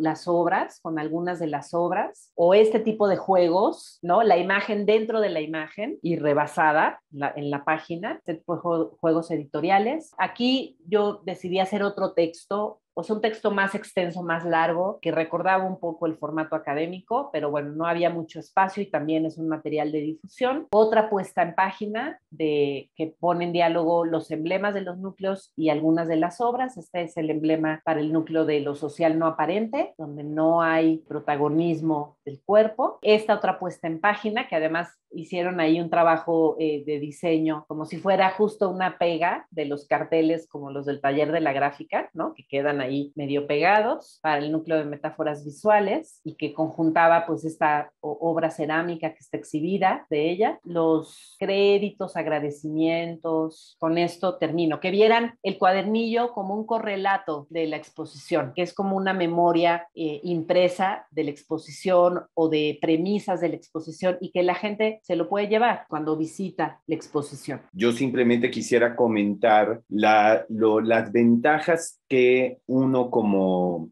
escucha tiene de poder oír a un especialista. Y creo que lo que ha sido muy enriquecedor de esta, de esta plática es cómo se entreteje un conocimiento técnico muy refinado, porque montar una exposición supone no solamente un capital intelectual y cultural muy vasto, sino también conocimientos técnicos que requieren una formación, que requieren una sensibilidad sobre todos los procesos que implican una exposición. Pero creo que lo fascinante es cómo se entreteje este conocimiento técnico con un planteamiento teórico, histórico, me, pareció fascinante, digamos, para la concentración de cultura mexicana, en donde hay materias que tienen que ver con la música, con el cine, con el arte popular, como en tu exposición tú sin saber que la concentración mexicana tiene estas derivaciones,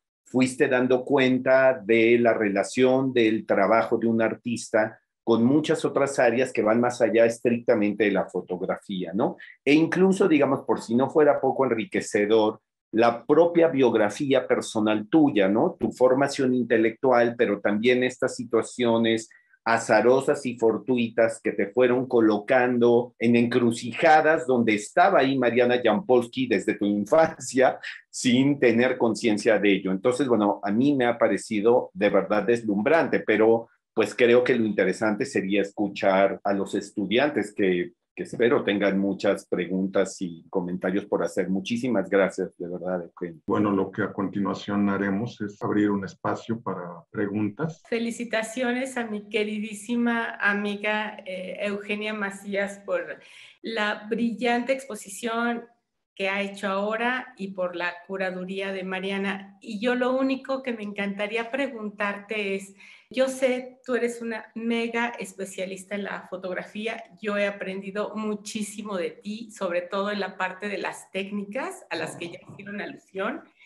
Pero me tengo la curiosidad, y esta es una pregunta meramente personal. Cuando te invitan a curar esta exposición, ¿cuál fue tu primera mirada y conexión hacia Mariana? Lo digo de verdad, a decirle Mariana a esta señorona, que debería referirme a ella de otra manera, pero yo te voy a decir también como colega o como que de repente escribo cosas, sí la conocía, pero gracias a ti ya no le quiero decir la señora doña Mariana Jampolsky, tú me has introducido a, un universo que me fascinó y que también, con todo el derecho que me da como espectadora, gracias a ti, llamarla Mariana. Me, me, acercaste de una manera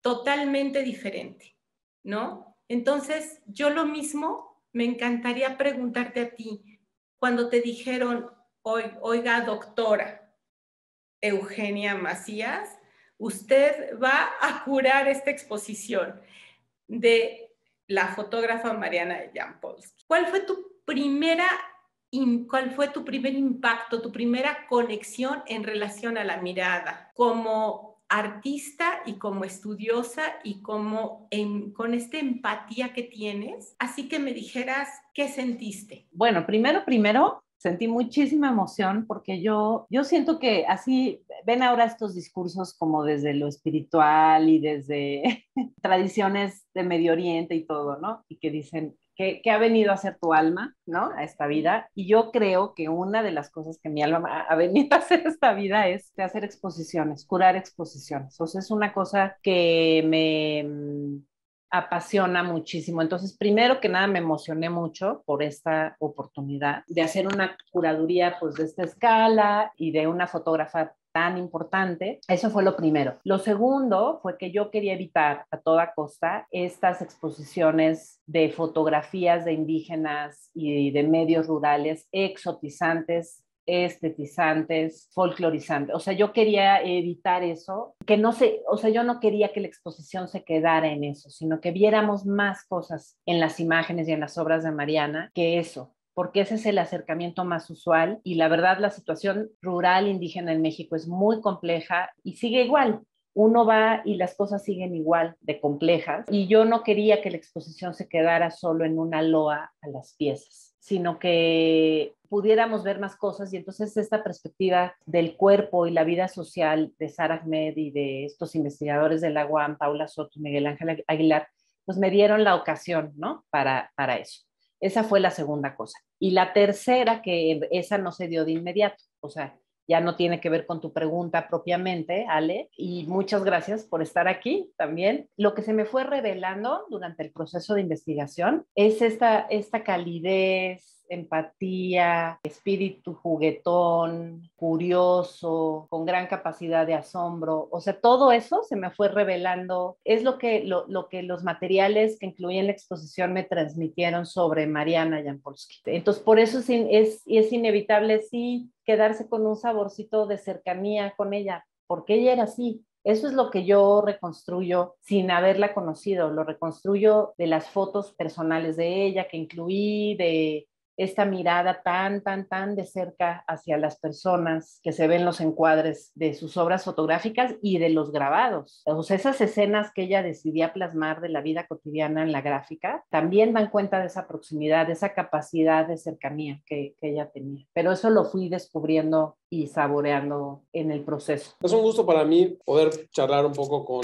con ustedes y, y ahondar en las inquietudes de Eugenia sobre la mirada que tiene hacia este tipo de, ejercicios de la luz, cómo, cómo, abordas y cómo te va sorprendiendo poco a poco, pues un artista, un investigador, cómo vas incluso descubriéndote tú como este ejercicio de introspección. Es interesante y la primera pregunta que, que a mí me surge de esto que platicas, Eugenia, si, esta, si esto es una coincidencia con otros fotógrafos, tal vez contemporáneos de Mariana, como esta mirada juguetona, esta, esta parte lúdica del ejercicio fotográfico, esa es una cosa. Y, y por otro lado, la, la, segunda inquietud que me surge desde que vi la inauguración a través de la red, ¿por qué los textos estaban como mal montados para mí? ¿No? O sea, desde, desde el ejercicio museográfico, ¿por qué se veían, digamos, como puestos nada más eh, como mal pegados, como un vinil mal pegado, ¿me entiendes? Pero ahora, digamos, con, con, lo que nos cuentas del cuadernillo, que es como el stencil y tal, bueno, me queda un poco más claro. Y creo que abordar una mirada que se ha presumido indígena desde, desde muchas otras geografías, cómo se le da esta perspectiva urbana y, y, desde la ciudad a esta práctica fotográfica me pareció como interesante esa analogía o esa relación que se, que se va haciendo desde una y de otra perspectiva, ¿no? Gracias. Ay, Iván, qué gusto también verte. Bueno, yo aquí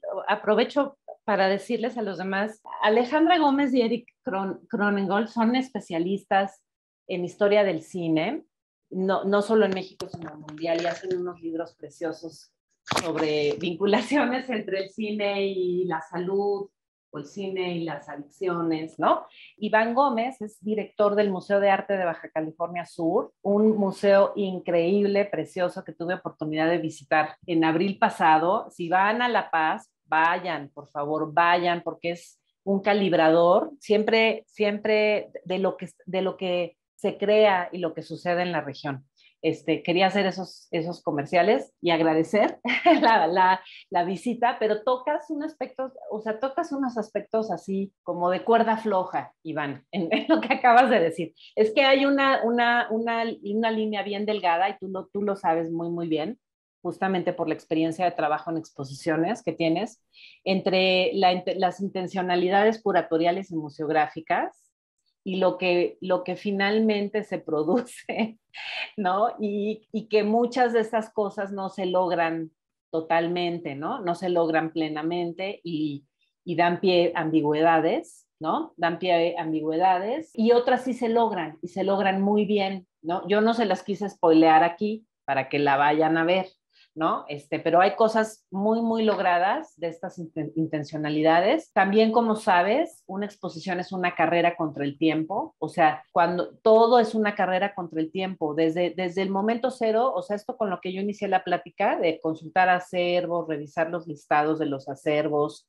generar mi lista de obra, desde ahí ya está la carrera contra el tiempo. Entonces, el tiempo nos gana, hay unas cosas que se logran perfecto y hay otras que no se logran tanto, o hay otras que quedan ambiguas en el propio montaje, en lo que el montaje comunica respecto de estas intenciones. Entonces, todo esto que tú comentas de los textos de sala es, es una cosa que sí jugó con esta idea, esta, esta petición mía de que se ensuciara la sala, que no quedara todo tan aséptico. Y entonces se diseñaron, se pensó primero imprimir sobre papel revolución, pero se vio que iba a ser un relajo, ¿no? En el, en el montaje y luego la durabilidad del papel este, a lo largo del montaje. Entonces se dio la textura revolución sobre el papel bond. Se quiso hacer como el cartel, así como estos, eh, como, como, el, como en los talleres de trabajo, ¿no? Que hay carteles ahí pegados con cosas, con pruebas, con esquemas. Entonces, los textos de sala se quisieron montar de esa manera, con ese carácter, pero no, ya no hubo el tiempo como para estudiar cuál, cuál podía ser la mejor manera, ¿no? Entonces, se dejaron así. Luego yo, yo quería como hacer cortes a mano en las orillas, o sea, esos papeles de trabajo que se cortan de esa manera, pero ya no se pudo hacer y después, pues, las propias condiciones climáticas, ambientales, también nos hicieron la jugarreta. El papel es muy delicado, entonces cualquier variabilidad en la temperatura y en la humedad relativa, en el papel, así en el papel se traducen ondulamientos, alargamientos, y entonces empezaron a hacerse así los textos y hubo que montarlos ya sobre superficie rígida. La verdad es que yo así asumo mi trabajo en tanto en las exposiciones como en el trabajo de investigación académica que hago en, los textos, por ejemplo, o las tesis que hice de mis grados. Para mí, todas son trabajos inacabados. O sea, no, no, o sea, siempre hay algo que queda suelto, hay algo que no se pudo resolver al 100%. Yo no me peleo con eso, ¿eh? No, no me peleo para nada con eso. O sea, hacemos lo mejor que podemos, somos humanos y, y además siempre hay un espacio de ambigüedad. Ahora sí que me voy a ir a una cosa que a mí, de un teórico que a mí me gusta mucho, Daniel aquí presente, me acerco a él, que es eh, Judy Lotman él dice que el proceso de comunicación no es ese, esa ficción lineal de emisor, mensaje y receptor. Y Lotman justo, justo donde, donde enfatizó pues mucho, mucho de su trabajo es en todos los enredos, distorsiones y dislocaciones que suceden con el mensaje. Y yo creo que todo lo que hacemos tiene eso, todo, todo, aún en la investigación académica, aún en la, y más en las exposiciones. Hay un abismo entre la, las intenciones de los que del equipo que realizó la exposición y lo que el espectador percibe. Y luego tienes estos azares de un edificio que pesa mucho, ¿no? O sea, el diseño arquitectónico que pesa mucho, que marca otros recorridos, cómo luchas contra eso en el recorrido que tú quieres plantear para la exposición. O sea, las exposiciones están llenas de esos riesgos. Eso es lo que podría yo comentar. Creo que nosotros tuvimos un pequeño acercamiento a Mariana Jampolsky, antes obviamente de la plática para tener un poco de bagaje, pero esta plática estuvo sorprendente. Creo que muchas veces conocemos el trabajo de muchos artistas y de muchos personajes icónicos de la cultura mexicana, pero los conocemos muy lineal, muy, muy por encima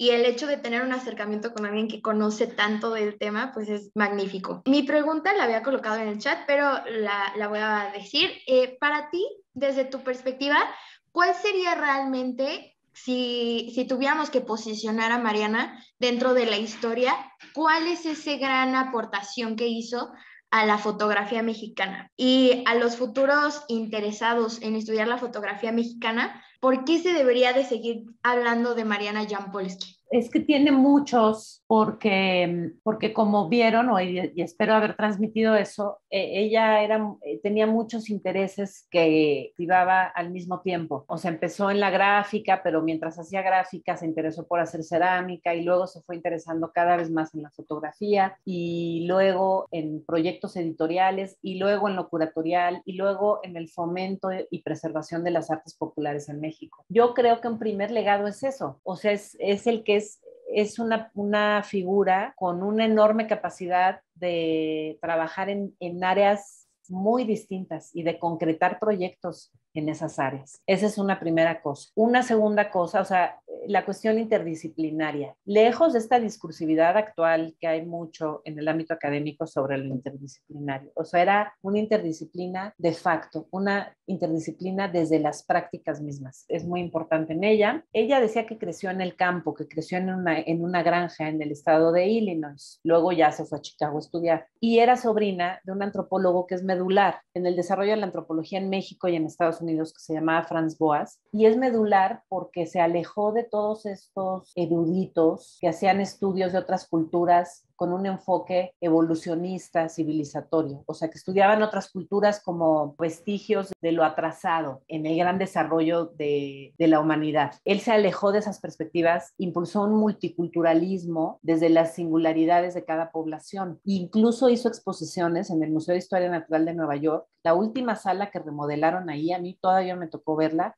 con el mobiliario de principios del siglo XX, era la sala de la costa noroeste y él fue el museógrafo. Y se alejó de estas museografías por tipologías y pugnó más por montajes que te permitieran comprender la singularidad de los grupos. Es un personaje súper importante, yo lo admiro muchísimo y me encantó el hecho de que Mariana fuera su sobrina y que cuando vino a México pues ya tenía ese bagaje, o sea, de ese tío, de haber crecido en el campo, que es lo que ella dijo mucho en entrevistas, más el padre escultor o sea, tenía como todas las condiciones de un bagaje de crianza, de un bagaje de su propia identidad que la hicieron tener esta empatía y esta cercanía con lo que veía en las comunidades que visitaba, ¿no? Ese es un segundo elemento que a mí me parece que es central en ella, de su legado, y otro es estas visualidades tan diversas que cultivó en su trabajo, donde, como vieron, tiene fotografía donde la gente no es protagónica, tiene fotografía donde la gente es protagónica, tiene fotografía donde lo ritual es lo que está enfatizado, tiene fotografía de niños, fotografía de mujeres, fotografía de oficios, o sea, es muy prolífica y desde distintos ejes. Yo creo que ese sería también otro aporte muy, muy importante. Yo, yo creo que la curaduría de cualquier exposición debe ser capaz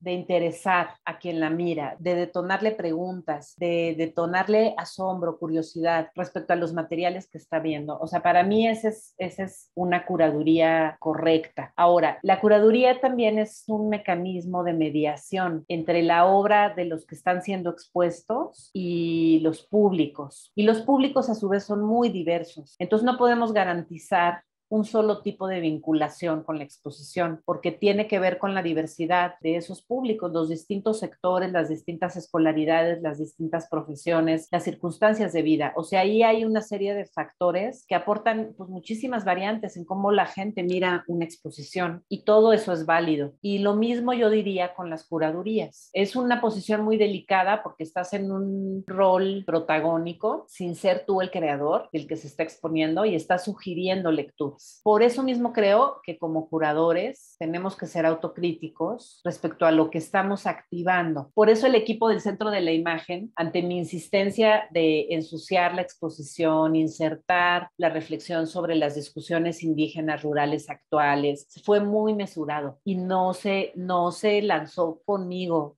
con mi entusiasmo por eso, porque en, el espacio expositivo todo se magnifica y es un, un, espacio de mediación entre los creadores y los públicos. Yo no, no sabría decirle así con total seguridad si una curaduría es correcta o incorrecta, pero sí creo, lo que te puedo decir es lo que creo, ¿no? Que es esta mesura, o sea, no olvidar que la curaduría facilita lecturas, facilita acceso a las obras. No, la curaduría no es la obra, que tiene una posición privilegiada respecto a, mm, a enfoques, ¿no? A enfoques que uno quiere activar desde lo curatorial para mirar las obras y que eso es muy delicado y que hay que pensar muy, muy bien eso, ¿no? O sea, miren, no es lo mismo decir, como yo, como yo me dije, ¿no? Al inicio del proyecto, yo no quiero una exposición que exotice y estetice lo rural indígena, porque eso no nos lleva a ningún lado. Son entornos con, con vidas muy complejas, con dinámicas muy complejas y estetizarlos y exotizarlos no es fructífero, no es fructífero para las personas en esos lugares, pero tampoco para la,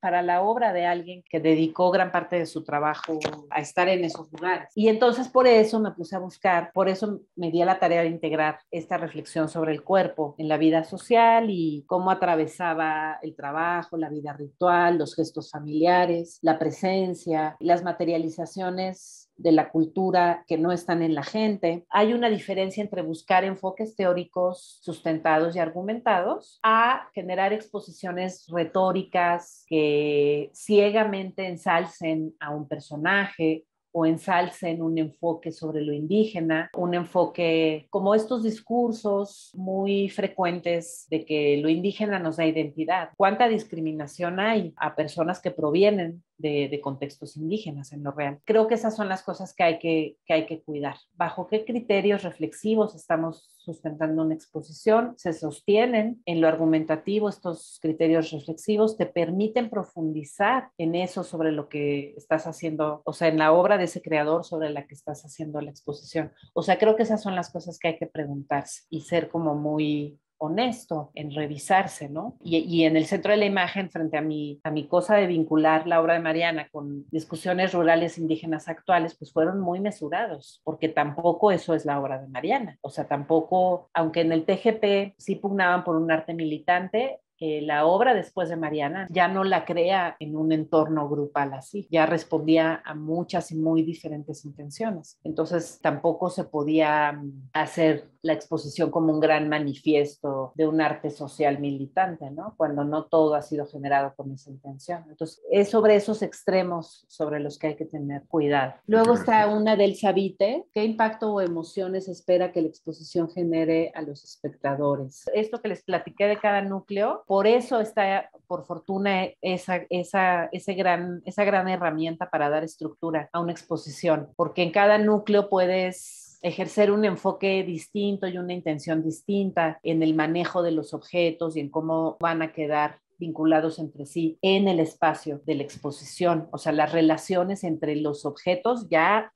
en lo concreto. Por eso les insisto mucho en que vayan a ver la exposición, porque yo les puedo decir todo esto, pero la experiencia de estar ahí es completamente diferente. Y ahí es donde, pues, donde se concretan estas relaciones entre objetos que una curaduría intenta hacer. Entonces, en este caso, cada núcleo tiene una intención distinta, o sea, una, una intención de impacto distinta. En el primero es la presencia, cómo lo fotográfico captura la presencia, la mera presencia. Por eso el retrato es un género fotográfico que a primera vista puede parecer muy igual, pero no, o sea, tiene unos matices muy sutiles que le dan justamente ese potencial de impacto, ¿no? Y uno de ellos es la presencia, cómo la gente está ante la toma, ¿no? Luego en el de gestos, pues lo que les platiqué, hay estos gestos de intimidad, de familia, de afecto, y hay los gestos normados por lo ritual, por el papel que cada persona cumple en un rito, en una danza. Luego el trabajo. En el trabajo lo que me interesaba, el núcleo del trabajo, lo que me interesa es ver, es que la gente vea cómo el cuerpo se maneja distinto según el oficio o según la manera de extraer recursos de un entorno. No es lo mismo alguien que está preparando una yunta, que hay una escena de un grabado de Mariana, así, a alguien que está cortando el cabello y el cuerpo, la corporalidad se maneja distinto, ¿no? Entonces eso, eso me interesaba mucho, que se viera. En lo de metáforas, pues que la gente se entregara estas variantes de sentidos en las imágenes, o sea, los objetos cotidianos expandidos en su sentido, las escenas de lo real expandidas en su sentido y estas composiciones y encuadres muy cuidados que también generan un tipo de experiencia sensible, ¿no? Que la gente pudiera acercarse a estos distintos mecanismos metafóricos de, o de, construir metáfora en la obra de, Mariana Jampolsky. Son como algunos ejemplos, o sea, pero, pero en general te podría decir que por fortuna existe esta posibilidad de hacer núcleos y que con intenciones para proponer estos impactos diferenciados, porque no, no es que sea un solo impacto, o sea, bueno, yo nunca, la verdad, en ninguna exposición me he topado con un solo impacto, a menos, fíjate, a menos que sea un nuevo proyecto de un creador en una galería, es un solo proyecto,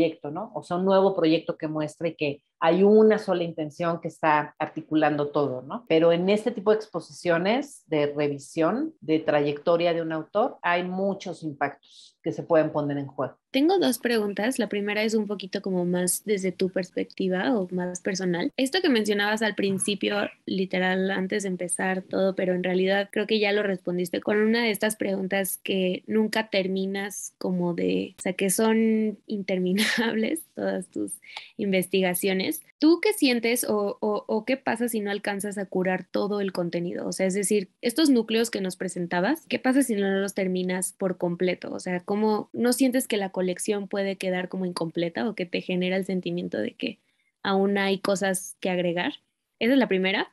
Y la segunda es, aparte de, generar una exposición con todo este proceso que, que, nos has enseñado de investigación y todo lo que conlleva eh, la curaduría, ¿qué otra función, como en respecto a, al, a la sociedad o respecto a lo que puede brindar, crees que pueda tener la curaduría? La primera, por eso eludí, eludí hacer una retrospectiva, porque sabía que iba a pasar eso, porque sabía que no iba a poder abarcarlo todo. Por eso, y por eso no me gustan las retrospectivas. Pero además a mí me gusta la idea de que las cosas queden incompletas. A mí me gusta, me gusta, porque quiere decir que hay posibilidad de hacer algo más después. Si no yo, pues para otros. Yo, pues por la cuestión de que hice y luego me interesé en lo antropológico y cuando yo estudié antropología estaba todo lo de la antropología posmoderna muy en boga, que es una, una, una corriente que cuestiona mucho los resultados de la, de la investigación antropológica, la escritura antropológica, los, lo, que se reporta, lo que se registra, la colecta de información. O sea, yo me formé con todos estos puntos de vista críticos, entonces más, más el venir, el, el, tener como en paralelo una formación en las artes. Entonces, mi primera carrera, y ahí es donde conocí a Daniel, era sociología en la Facultad de Ciencias Políticas de la UNAM. Y a, a mí ahí me, me, me dio un andamiaje que hoy me sigue acompañando, pero cuando yo entré estaba en crisis la carrera de sociología porque, porque tenía un contenido muy marxista y la carrera de ciencia política estaba teniendo como un auge y, y todos mis amigos y conocidos estaban cambiando. Entonces yo me cambié a esa carrera y por fortuna, por amigos como Daniel que iban un año antes y que nos iban recomendando profesores, porque como ustedes saben, Puedes hacer una carrera super barco, que te la lleves facilísima, o puedes hacer una carrera con profesores que te reten y que te hagan crecer y que te hagan concretar cosas. Y yo decidí lo segundo. Y Daniel tiene un papel muy importante en eso, además de que fue mi maestro también, primero mi maestro y luego mi amigo.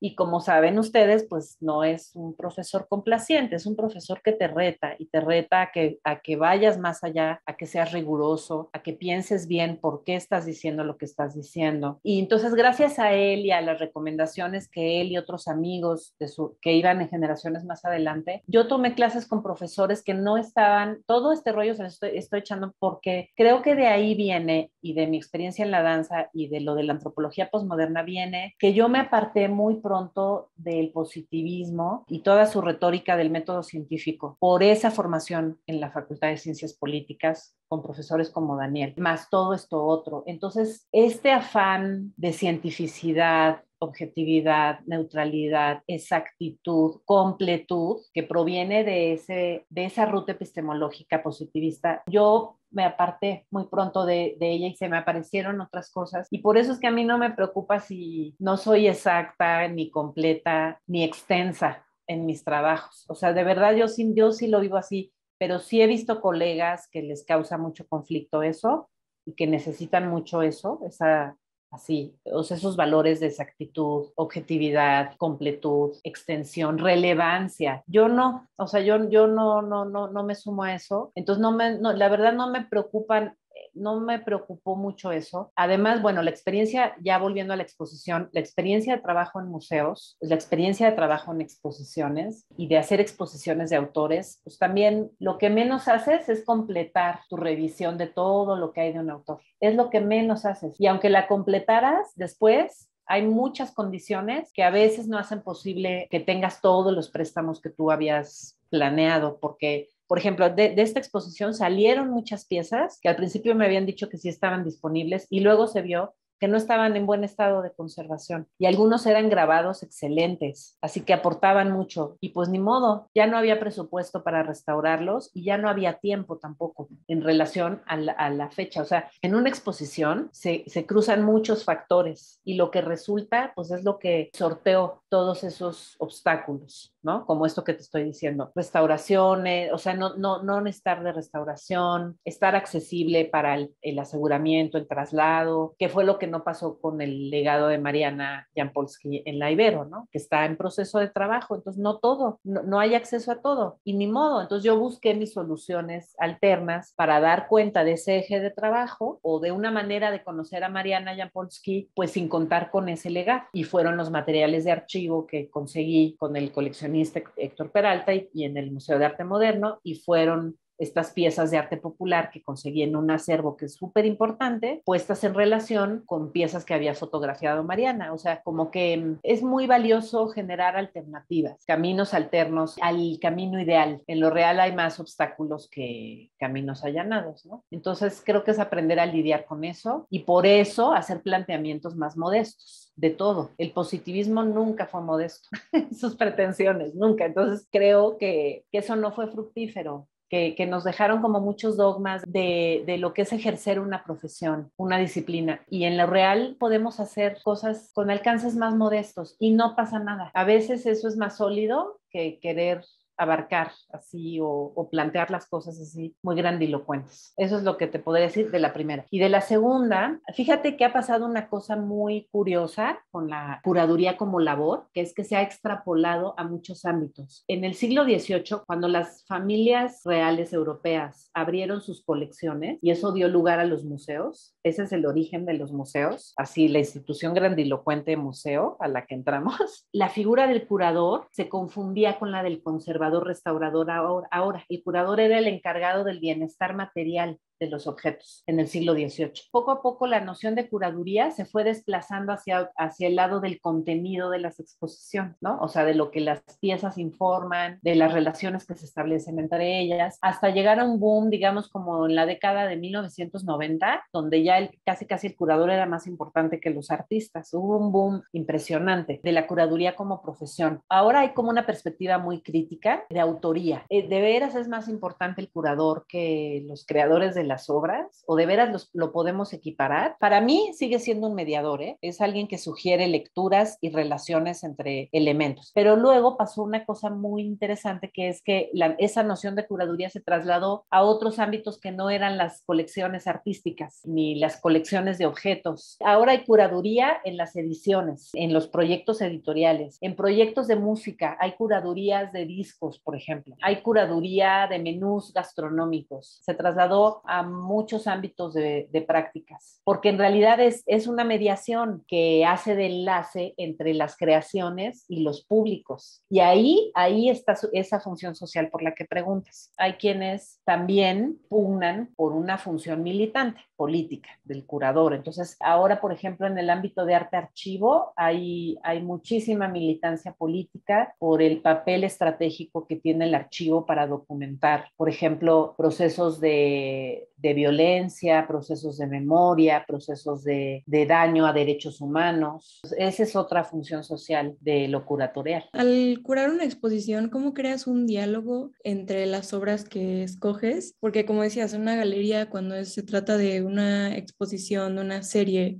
que hizo un artista es como que ya tiene un concepto detrás o una idea que los une a, todas sus obras, pero cuando creas como de un repertorio más grande, que es el, pues, la vida entera de un artista que no tiene como una, una serie en específico que quieras exponer. ¿Cómo creas este diálogo entre las obras que escoges? Porque igual mencionaste que hay ciertos obstáculos, como ciertas obras no están disponibles o, o las que sí están disponibles como a la hora de planear la logística, como que no se encuentran en un muy buen estado, entonces es mejor como que no, o sea, me imagino es mejor como no arriesgar eso. Entonces, ¿y cómo creas este diálogo entre las obras y cuando tienes como una visión de cómo lo quieres hacer y aparece alguno de esos obstáculos y la tienes que como que no dejar de tomar en cuenta, cómo mantienes esta armonía entre las obras que, que ya escogiste? Creo que sigues adelante con lo que tienes o sea, en lugar de ver cómo rellenas ese hueco, te concentras en lo que sí hay y las relaciones que puedes establecer con lo que sí hay.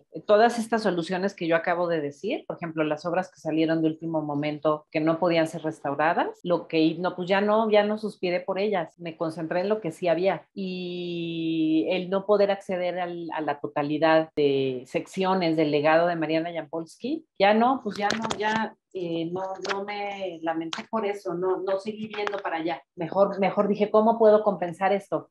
¿Dónde puedo encontrar material de archivo relacionado con Mariana Jampolsky? ¿Dónde puedo encontrar obras de arte popular que, vinculen, que se vinculen con sus fotos? No mirar lo que no hay, sino lo que sí de Diego Zárate, cómo se puede hacer este mensaje a comunicar más accesible para quienes no tengan conocimiento previo, cómo se podría acercar más a la gente a este tipo de exposiciones, todo lo anterior en aras de tener un mayor rango de exposición de la fotógrafa.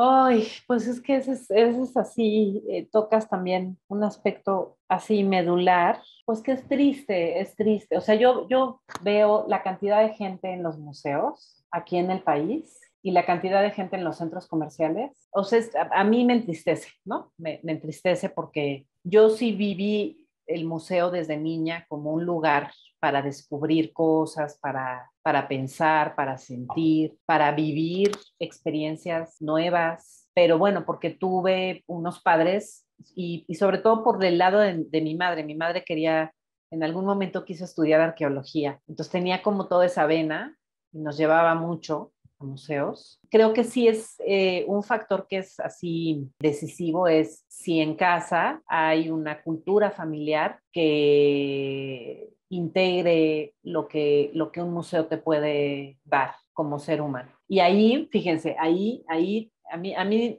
no, no, me gusta este autor, Pierre Bourdieu, no, no me gusta, no me identifico con sus intereses de investigación, pero es muy lúcido en ese libro de la distinción, cuando dice que la cultura y esa distinción se transmite desde la casa, en la casa, en, en, el crecer en un lugar, pues con cercanía a esas manifestaciones culturales. Es muy pesimista eso, ¿no? Pero es cierto, el interés por los museos se transmite desde la casa, desde la infancia. Y desgraciadamente lo que este sistema económico, político, social actual pone en circulación, pues, pues no está lejano de, de lo que un museo te puede transmitir, porque lo que importa es la cultura de consumo, lo que importa es lo que puedes adquirir. O sea, esos son los valores que más se fomentan, se impulsan, se reproducen, pues porque hay una lógica de mercado detrás. Entonces, pues, pues ¿cómo vamos a luchar contra eso?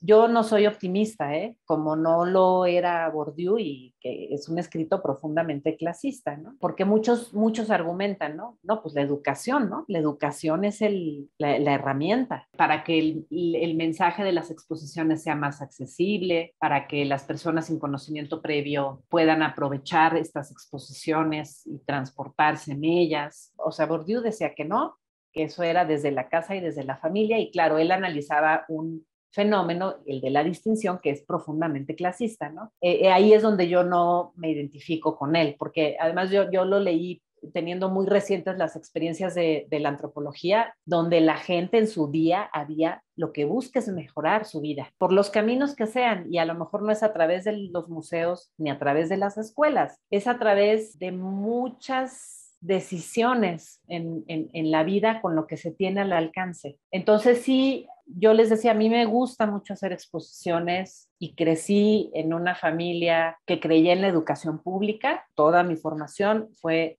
en, en, escuelas públicas, que bueno, incorporaron esa dimensión de ir a los museos a descubrir cosas, ¿no? Pero en realidad son entornos que son alejados, alejados de, de la vida de todos los días, de sectores poblacionales con perfiles diferenciados. Y en eso soy igual de pesimista como lo era Bourdieu en ese estudio, ¿no? O sea, aunque me choque, ¿no? El, el enfoque. No puedo ser muy optimista respecto a eso, Diego. O sea, no te puedo contestar así de manera triunfal que es con campañas educativas, porque sabemos que no, que no es así. Pero lo que sí, o sea, es que eh, el, a mí me tocó hacer trabajo de valoración de producciones culturales que los restauradores atendían en comunidades rurales. O sea, uno de mis primeros trabajos fue ese, fue ir junto con los restauradores que intervenían la, la obra situada en comunidades rurales, hacer talleres pues para dar a conocer toda esa información que conocían los restauradores y también para yo y los restauradores conocer los otros saberes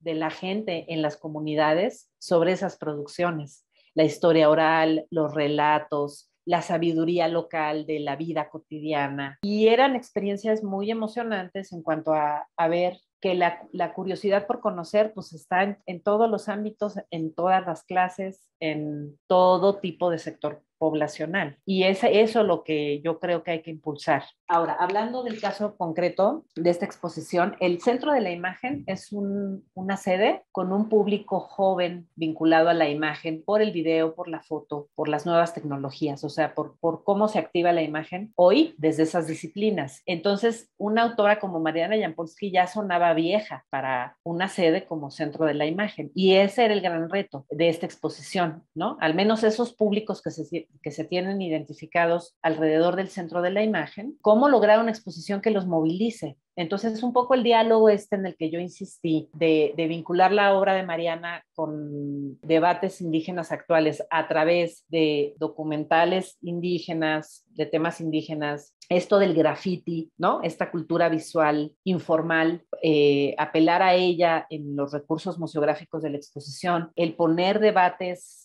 actuales a dialogar con la obra de Mariana, pues son, son al menos estos intentos para que la exposición llegue a este tipo de público, que no es el público de la generación de Mariana o de los fotógrafos que ella formó, porque también fue docente, ¿no? Me he encontrado ahora a raíz de la exposición con gente que me dice, así que son fotógrafos, me dice, ay, ella fue mi maestra, la recuerdo en un curso de tal y la admiraba muchísimo. De nuevo, acotar los alcances si ahorita logramos que ese público más joven alrededor del centro de la imagen se interese en una autora como ella por hacer diálogo con la problemática indígena rural en México actual, pues eso ya es un logro, ¿no? O sea, sin cantar victoria y sin decir que ese es todo el logro, pero creo más en acciones más acotadas para hacer llegar este tipo de exposiciones pues a otro tipo de sectores. Eugenia, muchísimas gracias, de verdad ha sido un privilegio, como decía Daniel, poder conocer aspectos de un artista y del montaje de una exposición de un artista desde una perspectiva diferente a lo que generalmente tienen nuestras y nuestros estudiantes en una conferencia. Entonces, muchísimas gracias, ¿no? yo creo que ha sido un recorrido muy interesante, muy intenso, ¿no? Han sido casi tres horas de intentar conocer a través de este, lo que tú nos platicas, ¿no? Eh, eh, un poco elementos de la vida y de la obra de Mariana, pero también todo lo que está detrás del proceso curatorial, de, de lo que está detrás de cada, de cada exposición. Pienso eh, también en otra clase que también está integrada aquí, que es una clase que se llama Imaginarios Culturales de México, en donde agradezco mucho a mis alumnos y alumnas que están conectadas, hablamos de eso y ya vimos la obra de, de Mariana, ¿no? Y reflexionabas mucho a través, sobre todo, de, de, de, la voz de las y los estudiantes, de cómo Mariana Jampolsky recupera, como tú has dicho, lo indígena, lo popular, lo, lo íntimo, pero lejos de la pictorialización, ¿no? Lejos de la propaganda. Son como experiencias desde mi opinión, de la memoria, de la espiritualidad. Siempre he pensado en Mariana como una suerte de fotógrafa fantasma, ¿no? Que no trastocaba, que no reconstruía, que no presuponía, ¿no? Sino que ofrecía pues nuevas formas de observar lo íntimo, lo cotidiano, lo afectivo, la esperanza, la añoranza, como capacidades de transmitir impresionantes, ¿no? Yo cada vez que, que, que, que veo, que tengo la oportunidad de escuchar nuevamente, pues a especialistas como tú hablar de de Mariana Jampolsky, pues cada vez más me hace tender puentes y quizá es una deformación personal mía, pero tender puentes con Lola, con Graciela y con muchas otras creadoras indispensables, ¿no? De, del México del siglo XX. Por supuesto, de esta exposición de hoy, pues con, si con algo me quedo es que la obra de Mariana Jampolsky, eh, la estupenda, sensible y personal curaduría que hoy nos mostraste, y que no he visto, pero mañana voy a estar ahí cuando abran el museo, ¿no? Para estar, para estar, para estar ahí.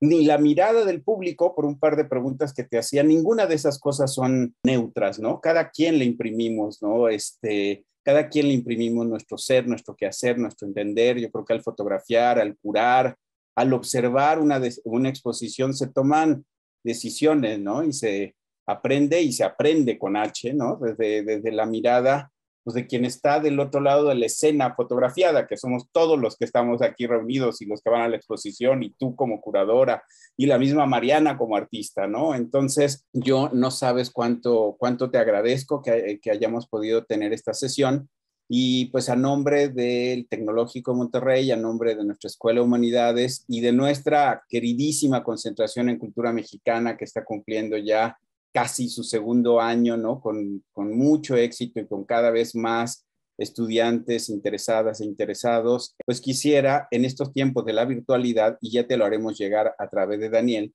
este, pues darte un diploma de agradecimiento por estar con, por estar con nosotros.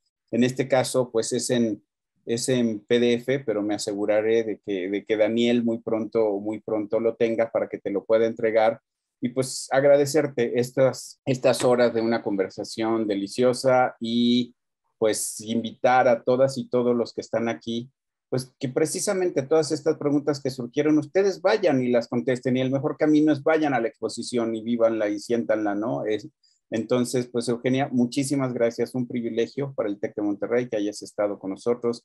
Gracias, Mónica, Daniel, este, Eduardo, ¿no? Por, eh, por hacerlo posible y muchas felicidades y muchas gracias, Muchas gracias.